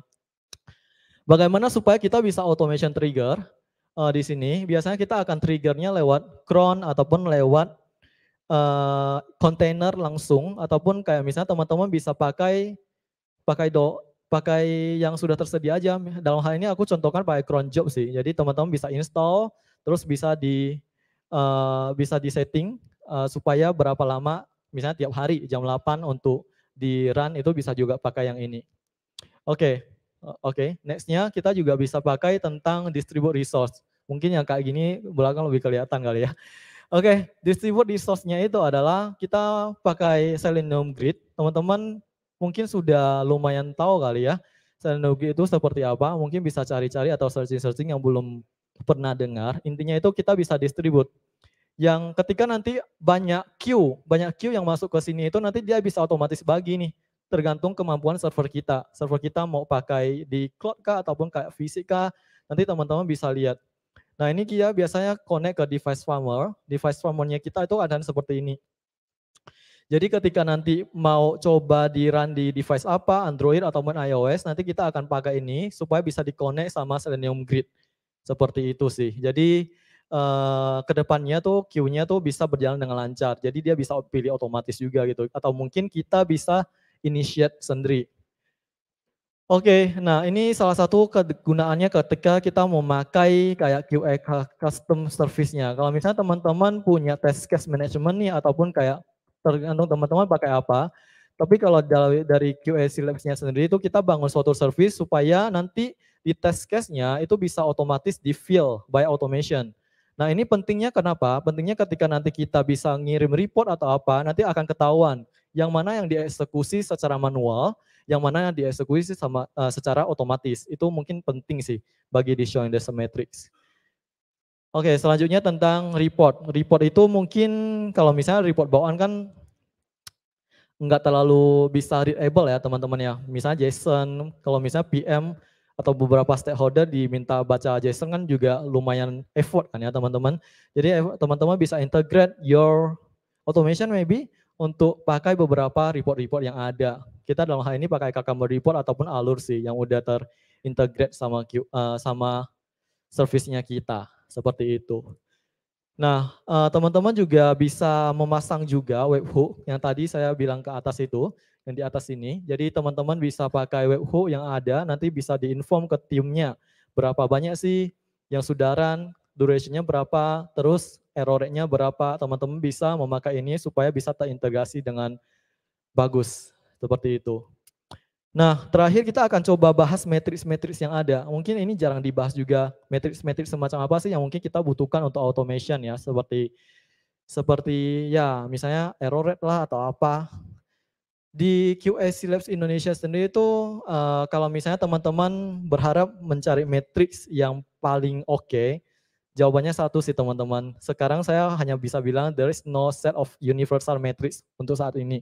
Biasanya tuh akan tergantung teman-teman karena matriks itu bisa berbagai macam tergantung teman-teman mau report seperti apa. Tapi di QSC Labs Indonesia sendiri itu kita mendefine beberapa matriks yang ada. Yang pertama itu adalah success rate. Jadi kita bisa mengukur success rate-nya suatu API kita ataupun UI automation kita tuh berapa persen dari sana. Terus berapa sih automation compare with manual yang kita sudah lakuin. Jadi kita bisa tahu 50% kah, 70% kah, atau bagaimana. Terus yang ketiga itu tentang matrix, duration. Jadi test case mana yang mungkin mempunyai waktu terpanjang. Nah biasanya kita bisa lihat tuh waktu-waktu terpanjang ini karena apa. Jadi mungkin nextnya ketika kita mau improve, kita bisa lihat matriksnya. Oh test case ABC ini nih, oh ternyata mungkin pemanggilan DB atau apa yang mungkin duplikat atau apa kita bisa lihat dari sana. Mungkin ini salah satu matriks yang juga berguna sih teman-teman. Yang keempat tuh adalah flaky rate. Flaky rate itu lebih ke arah seberapa sering dia error gitu. Jadi error positif lah istilahnya. Jadi flaky rate-nya itu bisa dilihat juga supaya kita bisa next-nya bisa diimprove. Yang kelima itu adalah automation kita mungkin tidak bisa terukur kalau misalnya automation itu sendiri tidak bisa menemukan beberapa defect yang ada. Tentunya kita tidak mengharapkan bisa menemukan. Tapi harusnya ya, by nature, nature harusnya tuh kita bisa menemukan satu atau dua lah test case-test case yang ada di non-live environment. Jadi mungkin ini bisa dijadikan juga defect found by automation itu berapa. Nah, di uh, Labs QA sendiri itu kita ada beberapa matrix yang ada. This uh, the matrix of API ataupun UI uh, automation kita. Terus di sini tuh kayak berapa banyak sih bug yang kita temukan di non-live environment. Jadi setiap kali kita coba lihat ini tuh kita bisa tahu, oke okay, fitur ini atau rilis ini kita menemukan beberapa bug yang ada nih. Terus ini tentang uh, seberapa flaky test case test case yang lumayan flaky test nih uh, yang kita perlu perbaiki lah di masa mendatang. Terus ini juga test case test case dengan long longest duration yang ada, yang paling ya mungkin yang paling uh, apa ya paling lama lah untuk dieksekusi berapa persen. Terus juga yang terakhir yang unsukses itu apa? Sama ini test case manual sama automation. Jadi kita juga bisa mengukur, uh, melihat kalau misalnya di satu rilis itu test case manual kita berapa, test case automation kita berapa di dalam suatu test plan. Kenapa itu berguna? Itu mungkin akan showing some kind of efektivitas daripada test automation kita sih. Nah setelah mungkin punya ini semua, teman-teman mungkin bisa bertanya sih. Setelah aku bertanya, uh, setelah mungkin kita punya ini, ke depannya seperti apa? Ke depannya automation ini juga bisa dipakai untuk apa gitu ya. Jadi nextnya kita bisa upscale automation kita tuh di beberapa hal yang ada. Yang pertama itu adalah production health check. Teman-teman bisa melakukan your automation itu untuk di running di live ataupun kayak uh, benar-benar server production sih. Supaya apa? Supaya mungkin beberapa case-case yang perlu kita tangkap itu misalnya uh, kita nggak dapat laporan itu dari user, tapi mungkin dari kita itu sudah dapat duluan. Jadi kita bisa memitigasi ataupun early detection. Atau mungkin visual testing ketika kita nanti uh, compare di games sama FA performance testing. Nah, empat lima ini teman-teman bisa sesuaikan lah dengan company, uh, dengan kebutuhan teman-teman. I believe banyak hal yang kita mungkin bisa uh, improve lagi ke depannya untuk automation-automation ini. Gitu sih, ini mungkin salah satu contoh uh, health check kita di production ya. Jadi ketika ada isu kita juga bisa menemukan lebih cepat. Seperti itu sih. Uh, selanjutnya mungkin kita masuk ke conclusion sih teman-teman, conclusion sih ya. Jadi kita sama-sama tahu lah bahwa test case, uh, sorry, kita sama-sama tahu bahwa automation itu mempunyai banyak benefit lah teman-teman, banyak benefit tentang kayak mereduce the time lah, terus juga kita juga bisa membantu kita untuk me, mempercepat testing kita di beberapa test case yang ada. Tapi kita harus ingat bahwa case sebenarnya tidak bisa menggantikan beberapa test case test case yang ada. Manual tetap perlu dilakukan untuk beberapa case case yang ada. So I think that manual QA masih harus dilakukan. There's no 100 automation testing dan juga there's no 100 manual testing sesuai dengan case-nya, sesuai dengan strateginya. Jadi ketika udah automation mungkin manual-manual QA kita bisa lebih fokus ke exploratory testing, one-time testing, ataupun usability testing. Itu mungkin sekilas ya yang mungkin saya bisa bawa pada kesempatan kali ini. Terima kasih teman-teman atas perhatiannya. Kalau ada pertanyaan nanti kita baru jawab sama-sama. Thank you. Wow. Thank you so much Kak Julius, bener-bener padat, berdaging dan serius ya. Saya sampai lihat beberapa ekspresinya tuh ada yang ngerutin dahi, ada yang macam-macam, atau ada yang penasaran juga mau tanya-tanya Kak Julius langsung. Kita bisa masuk ke sesi Q&A. Nanti ada um, dari teman-teman di sini semua, ada juga dari online stream ya. Kita nanti pilihkan juga, kita lihat baca-baca dulu. Nah, ini bisa sofa-sofa kakak-kakak speaker silahkan.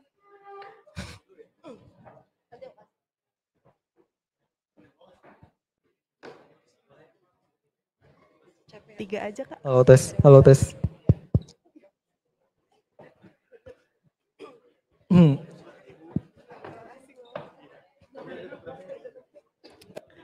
Oh, oke. Okay. Um, di sini udah ready nih untuk ditanya-tanya. Uh, saya akan pilih dulu nih kalau misalnya ada beberapa orang yang udah uh, punya pertanyaan, mungkin bisa raise hands aja nanti bisa dari yang paling dekat dulu ya, dari sini dulu. Uh, kakak runner, Asya. Ini dari depan udah ada muncul satu.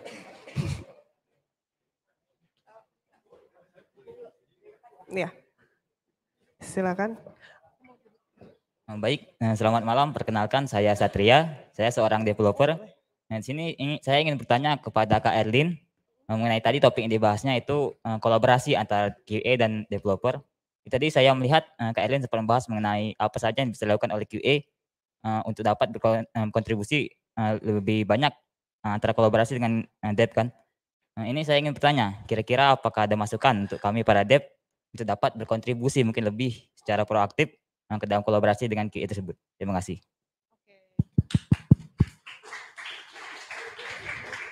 Ya, oh berdiri ya. Oke, eh, thank you atas pertanyaannya. Eh, saya seneng banget sih dapat pertanyaan ini. Jadi kayak maksudnya di sini saya ngelihat kayak oh ternyata teman-teman developer ini ternyata juga pengen gitu ya kayak berkontribusi gitu kan. Nah em, kalau saya pribadi mungkin sedikit cerita ya. Kayak saya ini udah bekerja sebagai QA selama 8 tahun gitu ya.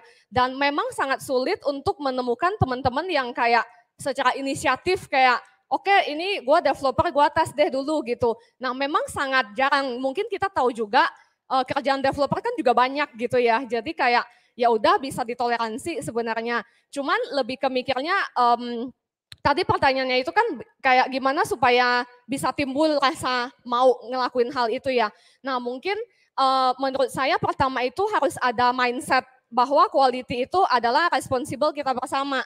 Jadi kayak jangan mikir bahwa hmm, ya udah quality itu kan tugasnya QA, QA itu kan tukang cari bug. Nah, jangan sampai kayak gitu. Jadi kayak QA itu selain nyari bug, mereka itu juga harus maintain the quality kan. Jadi kayak eh, mungkin lebih ke apa ya? Menurut saya ya harus menimbulkan mindset itu dulu, lalu pelan-pelan bisa kayak apa ya? Maksudnya gini, mungkin eh, masnya yang udah capek-capek ngoding gitu, pengen tahu juga kan hasil kerja keras gua tuh kayak gimana gitu, kayak eh, apa ya? Masa karya gua gua nggak tahu kayak gitu. Nah jadi mungkin lebih ke pelan-pelan menumbuhkan mindset yang tadi sih gitu. Jadi kayak nanti juga mungkin eh, kalau udah diterapin itu bisa ngelihat hasilnya juga kok gitu.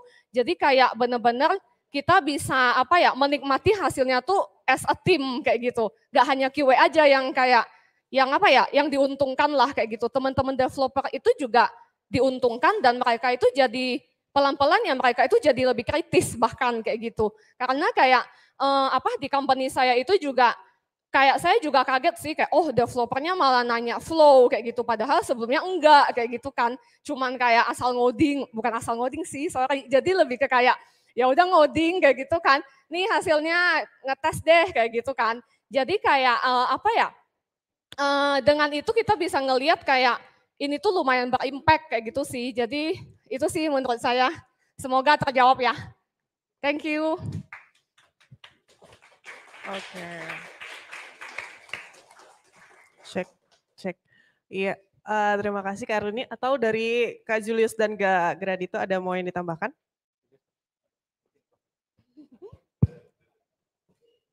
Halo, iya benar banget. Oke, saya berdiri ya. Benar banget sih yang dikatakan sama Erwin ini. Sebenarnya lebih tentang ownership juga sama responsibility. Kalau misalnya soft test ini juga kita lakukan di QL Labs Indonesia. Jadi soft test ini juga bukan hal yang mungkin baru ya bagi sebagian company. Eh, tujuannya adalah tentang memfilter dulu beberapa bagian-bagian yang prioritasnya nol. Jadi mungkin developer juga kayak lebih developer I believe dengan soft test ini juga kayak lebih tidak terlalu kesel juga lah istilahnya ya. Kalau misalnya ah tiba-tiba diberikan QA QA dua menit lagi dua menit ke depan terus baik lagi bugsnya ke developer itu kan juga kayak developer juga punya waktu atau mungkin "Ah, kenapa sih kayak gini. Jadi I think untuk jangka panjangnya akan eh, bermanfaat sekali untuk eh, SDLC-nya sendiri sih. Terima kasih, itu aja sih yang bisa ditambahkan. Semua menjawab. Thank you. Eh, untuk penanya kedua, bisa dari yang sebelah sana dulu ya Kak, di ujung. Yang baju hitam ya.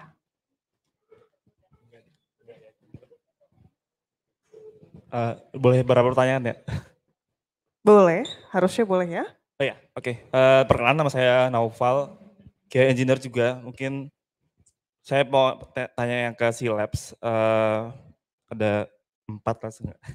Sorry, banyak kebanyakan ya. Mungkin ini agak berhubungan sih. Eh, mungkin yang pertama tuh tadi kan banyak testing tipenya gitu ya. Dari gRPC testing, terus log tracing, Redis, sampai eh, performance-nya gitu. Nah, dalam satu cycle development tuh gimana cara ngebaginya gitu? Karena banyak banget kan. Dan eh, mungkin pertanyaan keduanya kalau memang semua itu dites, gimana pembagian manpowernya gitu? Apakah memang semua harus bisa atau dispesialitikan gitu? Uh, itu untuk pertanyaan pertama. Terus mungkin lebih uh, pertanyaan kedua, ini tadi saya lihat di arsitekturnya sendiri ada GitLab dan Jenkins gitu. GitLab sendiri kan sudah ada CI/CD-nya gitu ya. Dan uh, tadi ngarahin ke Jenkins juga gitu. Uh, pemilihannya itu gimana gitu? Maksudnya uh, GitLab sudah menyediakan pipeline, SAML-nya dan lain-lain, tapi kita pakai Jenkins juga gitu. Uh, consideringnya gimana? Dan uh, base-nya tuh mending pakai Jenkins atau pakai GitLab? Kedua mungkin uh, yang terakhir, ini tadi di matriksnya ada flaky rate sama defect kan ya. Nah, untuk ngitung itu apakah itu secara automation atau manually by inputting the data gitu. Uh, mungkin itu aja pertanyaannya. Thank you.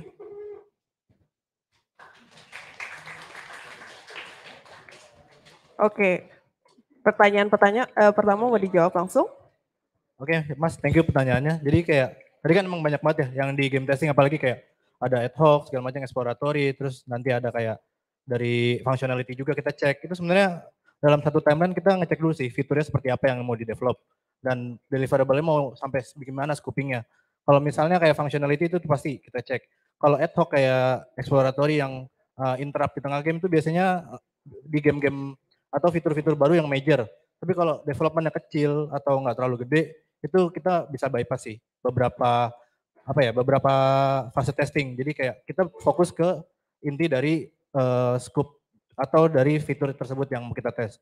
Terus yang load test, yang load test itu kayak kita kan uh, kalau di Silab sendiri itu uh, untungnya semua QA member bisa ngerti uh, untuk load test itu sendiri karena tools kita udah lumayan friendly buat mereka. Jadi kayak uh, apa pun itu yang misalnya kita butuh uh, lotes ya kita jalanin aja bisa bareng-bareng gitu. Kayak gitu. Jadi soalnya gimana ya? Nggak semua version kita butuh lotes sih. Kayak mungkin yang impact sama BE terus logiknya banyak berubah, nah itu kita perlu lotes kayak gitu sih. Untuk pembagian manpowernya juga sama. Jadi kayak functionality berapa terus nanti pas regression itu harusnya nanti bisa paralel sama load test itu bisa dibagi-bagi. Misalnya dari tiga, dua main regression, yang satu main load test itu bisa kayak gitu. Oke. Okay. Thank you. Semoga menjawab. Oke, okay, terima kasih. Uh, Oke, okay, mengenai pertanyaan kedua sama pertanyaan ketiga ya, uh, bagaimana kita mencari CI/CD tools yang mungkin cocok sama kita. Di kita sendiri sebenarnya kita bisa pakai GitLab CI. Sebenarnya tergantung dari preference juga sih, uh, Mas.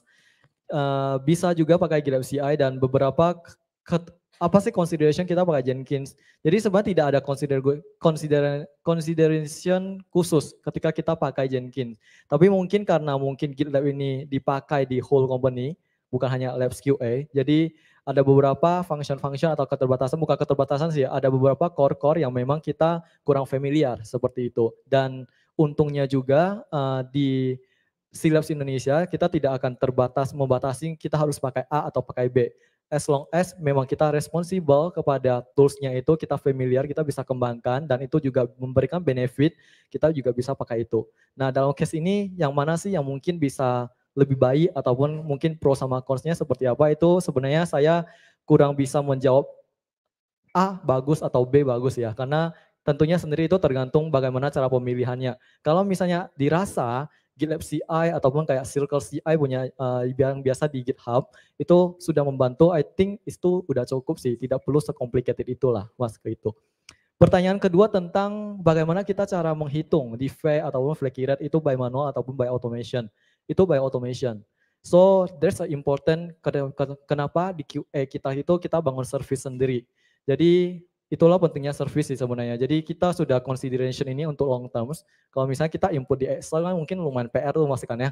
Jadi biasanya kita akan bangun service, bangun cron ataupun kayak bangun script supaya kita bisa mengetrack berapa sih ini tiket atau jira ataupun kayak defect yang ditemukan sama automation itu semacam mempunyai flag sendiri lah. Sehingga nantinya setiap hari kita akan kumpulin atau servicenya berjalan, kita akan taruh di database kita, Terus nanti kita bisa showing dari metrik. Jadi matrix itu akan otomatis sih mas. Jadi mungkin bisa dikonsider hal-hal yang seperti itu kalau misalnya mau coba juga. Mungkin semoga menjawab mas. Oke terima kasih. Oke. Ya, kembalikan. thank you Kak Gradito sama Kak Julius. Eh, untuk pertanyaan ketiga bisa? Oh, masnya yang pakai baju kotak-kotak dulu. Kakak Asher.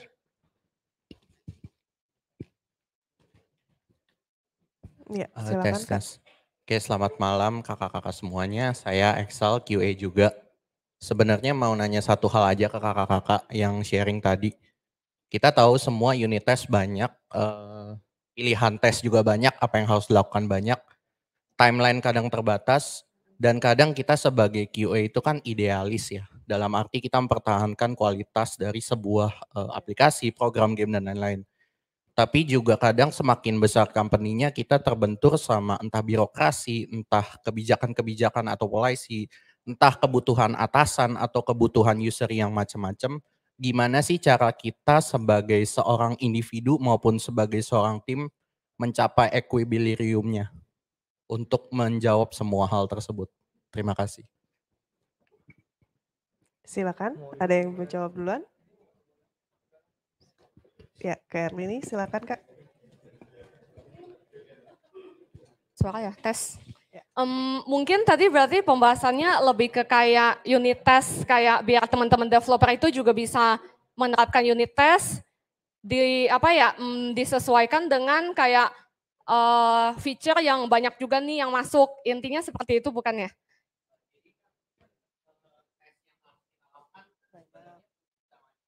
Mm-mm. Mm-mm.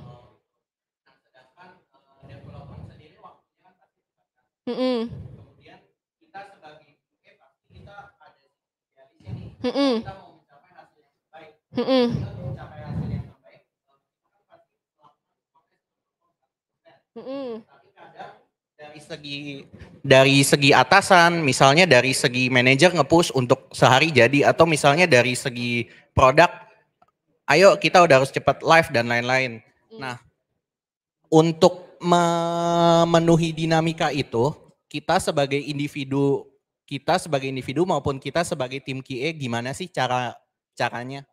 Hmm, Oke, kalau menurut saya mungkin yang pertama itu tadi mungkin bisa dibantu dengan automate test juga gitu ya untuk mempercepat proses mungkin dan mungkin kayak kalau dibandingkan dengan timeline sama kayak testing itu atau development pro- proses lah itu memang sulit sih jadi kayak pasti kita tahu eh, ada deadline segala macam kayak gitu. Nah menurut saya kita sebagai QA ya kita mesti ngomong mungkin berani ngomong untuk kayak kalau ini nggak make sense ya udah kita harus raise gitu. Dan kayak maksudnya estimasi yang udah kita komit di awal itu pasti kita udah consider juga tentang kayak oh ini oke make sense bisa kita jalankan dan kayak kalau nggak make sense ya kita mesti sounding kalau ini nggak cocok gitu. Jadi kayak menurut saya itu isu yang dialami setiap individu sih ya sebenarnya ya.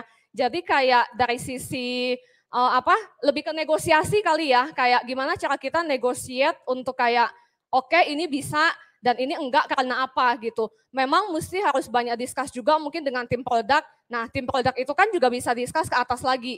Kayak gitu. Jadi mungkin lebih ke kayak ya itu sih pertama mungkin negosiasi dan ya kita mesti berani raise gitu dengan eh, apa ya dengan hal-hal yang make sense. Harusnya itu akan mungkin akan bisa teratasi sih.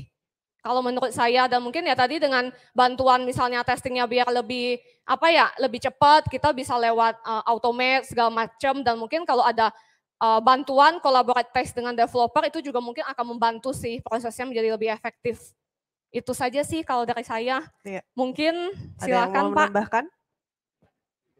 Oh, oke. Aku mau diri aja ya. Eh, baik, pertanyaan yang sangat bagus sih sebenarnya. Jadi di QL Labs sendiri itu kita pernah facing this uh, problem lah. I believe ini juga facing banyak oleh banyak teman-teman juga di company uh, teman-teman. Jadi apa yang kita lakukan pada saat itu sebenarnya tuh kuncinya sudah dikatakan sama Erlini, yaitu adalah tentang align expectation kita sehingga kapan sih suatu produk itu bisa dikatakan cukup begitu. Karena kalau misalnya kita mau mengarah ke tujuh prinsip of the QA itu adalah salah satu prinsipnya adalah testing yang 100% itu almost cannot atau mungkin impossible kali ya Mas ya.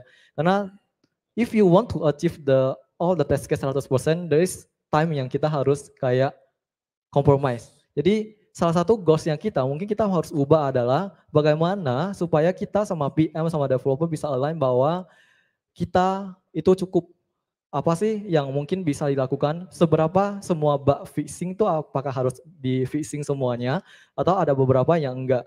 Dan juga apa yang saya lakukan uh, bersama teman-teman QA Labs Indonesia sendiri itu adalah pemilihan strategi testing itu paling penting di awal. Karena apa? Karena ketika kita ngomongin uh, beberapa test case test environment yang ada misal environment staging sama test case environment di regression itu biasanya salah, salah, banyak salah kaprah, testing yang harus dilakukan di tes ataupun di staging itu harus dilakukan kembali di UAT atau regress gitu loh. Jadi padahal sebenarnya pada praktek nyatanya itu tidak seperti itu. Pada praktek nyatanya kita harus tahu bahwa regression itu sendiri itu ada pengertiannya adalah make sure changes-changes itu tuh tidak terjadi di UAT atau mungkin di pro, uh, sebelum production lah. Jadi kita harus pandai tuh memilih strategi testing. Awal testing ini, test case ini tuh harus dilakukan kembali atau tidak. Jadi yang kita coba lakukan itu adalah pemilihan test case, terus juga pemilihan strategi testing itu biasanya akan lumayan banyak mempercepat atau mungkin menargetkan testing kita yang cukup efektif sih. Biasanya tuh ya apa yang kita lakukan so far seperti itu sih. Jadi ketika kita lakukan di sini sudah seperti itu tuh biasanya kita ada sedikit waktu tuh untuk melakukan testing automation lah atau untuk membangun beberapa service-service yang ada. Mungkin kita bisa revise untuk poin itu sih. Oke, begitu sih. Ya. Terima kasih Pak Dadi mau menambahkan, silakan. Paling gue nambahin dikit dari Erlin sama Julius ya. Jadi mungkin point of view dari gue lebih ke arah uh, pemilihan test case itu sendiri kayak nggak perlu semuanya kayak edge case yang mungkin most impossible user lakuin di production kita tes gitu loh. Mungkin kalau misalnya emang menurut kalian itu nggak kritikal banget itu bisa kalian coba eh, pilah-pilah uh, lagi gitu loh. Jadi kita ngerti kita nggak mau compromise quality kan. Cuman kadang ada beberapa target yang kita harus achieve juga gitu kan. Dan kita bisa kerja sama sama developer sama PM buat nge-line, oh test case yang kita tes scope-nya segini kayak gitu. Scope yang ini kita nggak bisa tes kalau misalnya kalian emang maunya waktunya sampai misalnya dua minggu lagi kayak gitu. Kita nggak bisa pakai tes yang scope yang sampai segini. Sampai segini kita bisa omongin sih kayak gitu ke tim yang kita lagi develop kayak gitu. Itu aja sih paling dari gue. Ya, saya juga setuju kalau dari pembahasan tiga speaker kita ya. Uh, thank you dari uh, offline questions di sini. Kita shifting dulu sebentar ke online ya, pertanyaan online. Ini ada dari Kak Aldrian Deskara, Descara. Buat Kak Erlini, collaborative work itu sama nggak ya sama shift testing?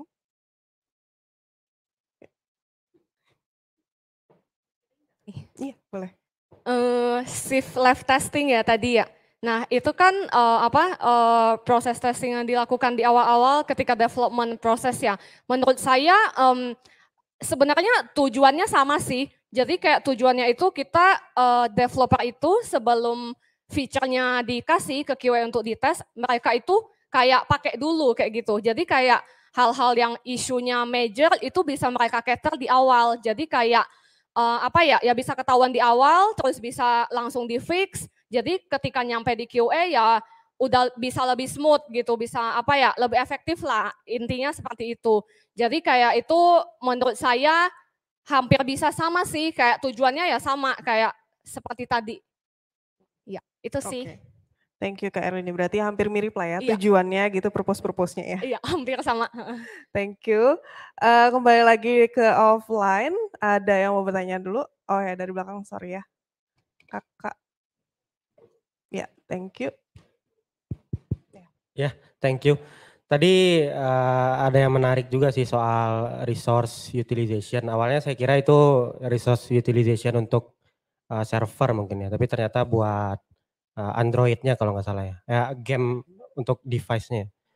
Uh, kalau boleh sharing gimana caranya gitu kan? Gimana caranya sama uh, apakah ngecek resource utilization tadi itu QA-nya yang kecek atau bareng sama dev atau gimana. Sama setelah dicek itu ada sarannya nggak misalkan untuk improve atau optimasi uh, resource utilization tadi kayak gimana? Oke, okay. ya itu, thank you.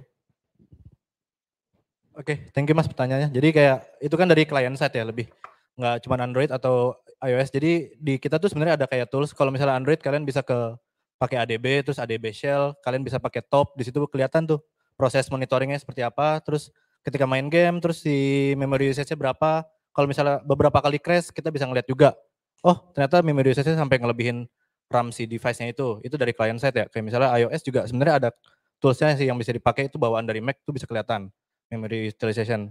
Nah, untuk optimasi sebenarnya kita bisa ngasih data itu ke tim game engineer atau front end. Itu biar mereka biasanya oh ternyata gue perlu optimize di uh, image mungkin. Mereka perlu doing some compression for something gitu buat optimize si gamenya itu tersebut. Biasanya kayak gitu sih mas.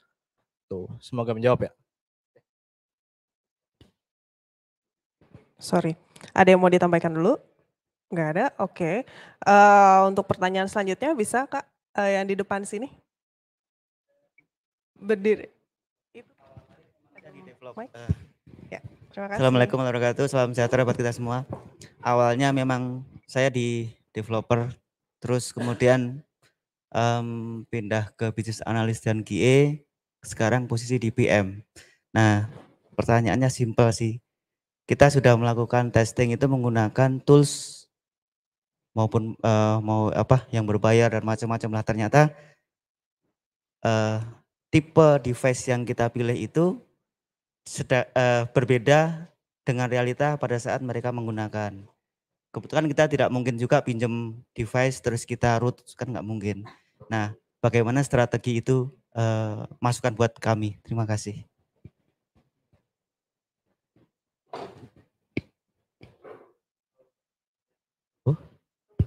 Halo.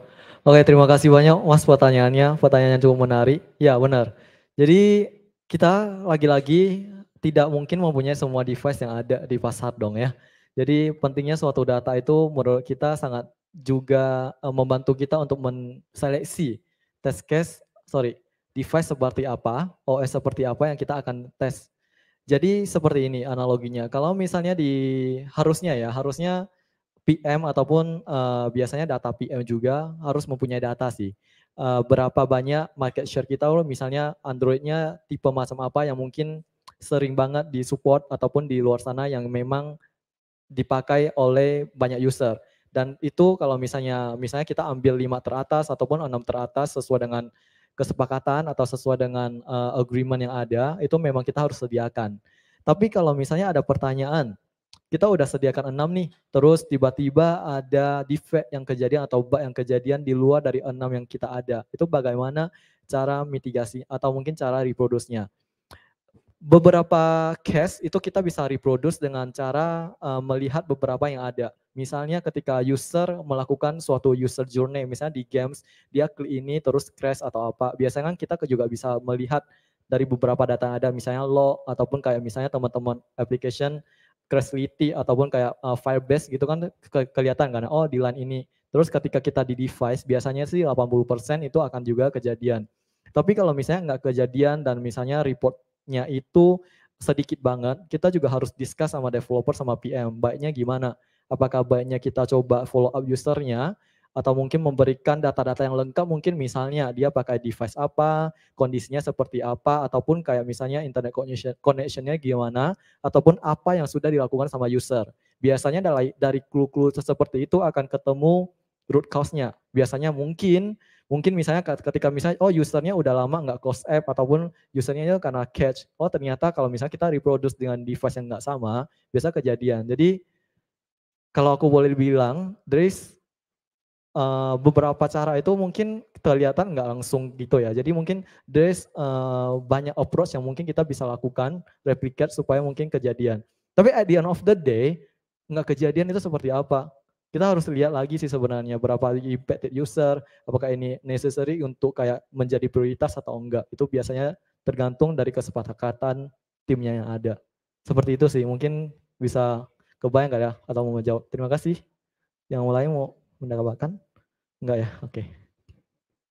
Ya, uh, mungkin kalau saya menambahkan tadi uh, summarize, jadi butuh data juga dari PM, kira-kira seberapa banyak sih um, user kita menggunakan specific devices, kemudian uh, yang mana aja yang menemukan issues, kemudian bisa juga dibantu dengan device farm ya, kayak kita bisa punya, itu juga bisa dibantu. Nah, untuk priority isu-isu uh, juga mungkin dari jumlah Eh, PM pasti mainan data juga ya. Eh, sebagaimana banyaknya yang muncul isu di device spesifik atau enggak kayak gitu. Jadi mempengaruhi priority yang harus di fix gitu.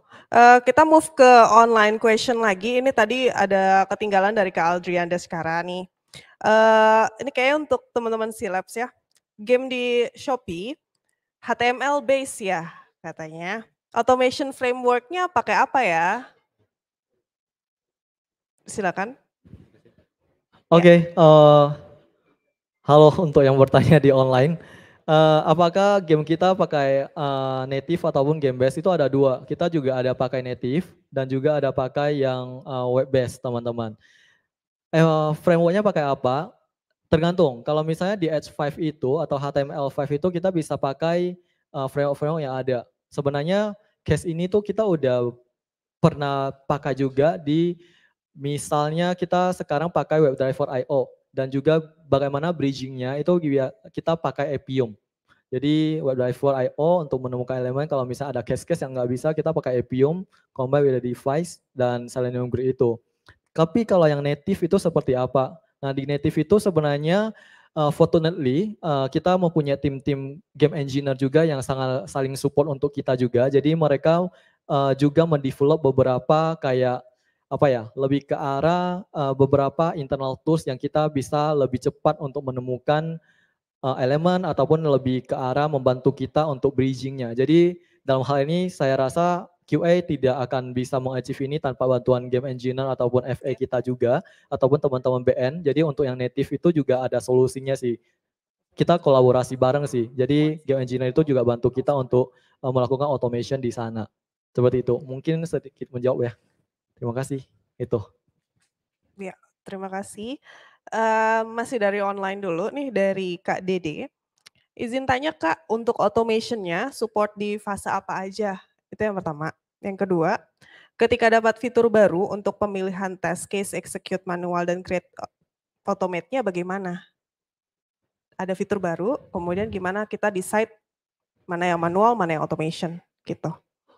Oke. Eh, untuk runningnya di mana aja sebenarnya itu tergantung lagi kepilihan teman-teman. Kalau misalnya di QS Labs Indonesia sendiri itu kita akan jalankan di tiga environment, tapi dengan case-case yang berbeda. Kita akan jalankan C API itu di production. Kalau di non-production kita akan jalankan API sama UI automation. Nah biasanya kalau di UAT itu kita jalankan regression testing supaya nanti effort testing kita di semua test cases yang ada itu lebih cepat.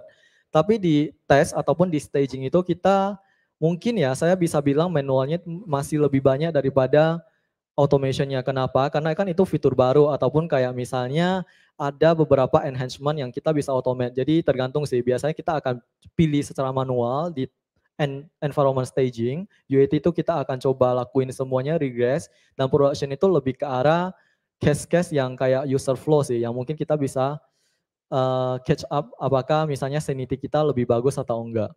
Pertanyaan kedua tadi tentang oh Dapat pemilihan fitur baru, kemudian gimana pilihnya? kalau dapat fitur baru bagaimana cara automationnya ya seperti itu ya. Eh, milih test case execute manual ataupun automation. Oke, tergantung lagi. Eh, jawabannya sangat tergantung sih teman-teman. Jadi di kitanya sendiri itu kalau misalnya automation itu sudah di cover, misalnya modul nih, modul homepage sudah ada cover automationnya, maka kita akan lebih memilih cover by automation first, dan and then see what's going on, re- resultnya apa.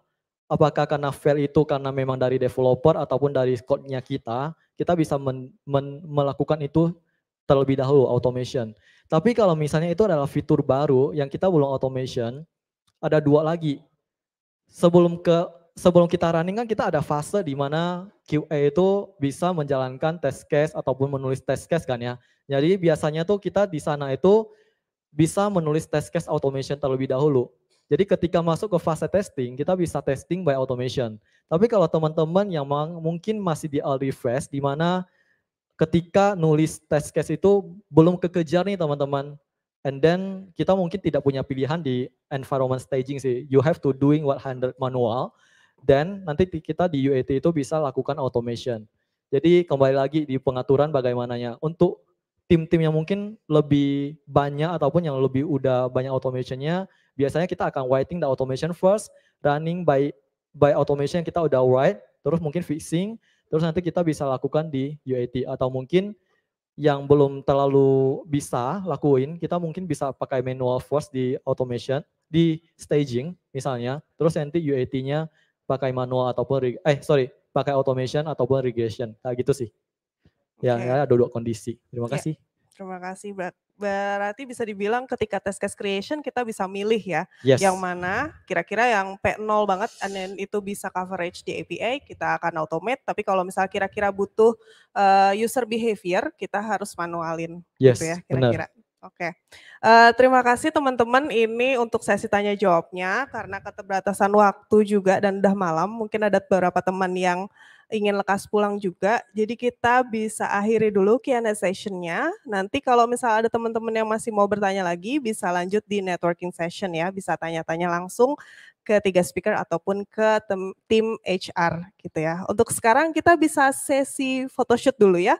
Teman-teman kakak-kakak HR bisa dibantu untuk plotting posisi.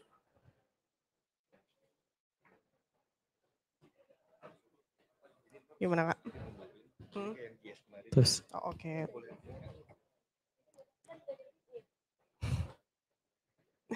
Belum, belum pulang. Ini butuh ke ada yang ke depan nggak? Oh oke. Foto speakers. Foto speakersnya dulu kakak. Berdiri aja.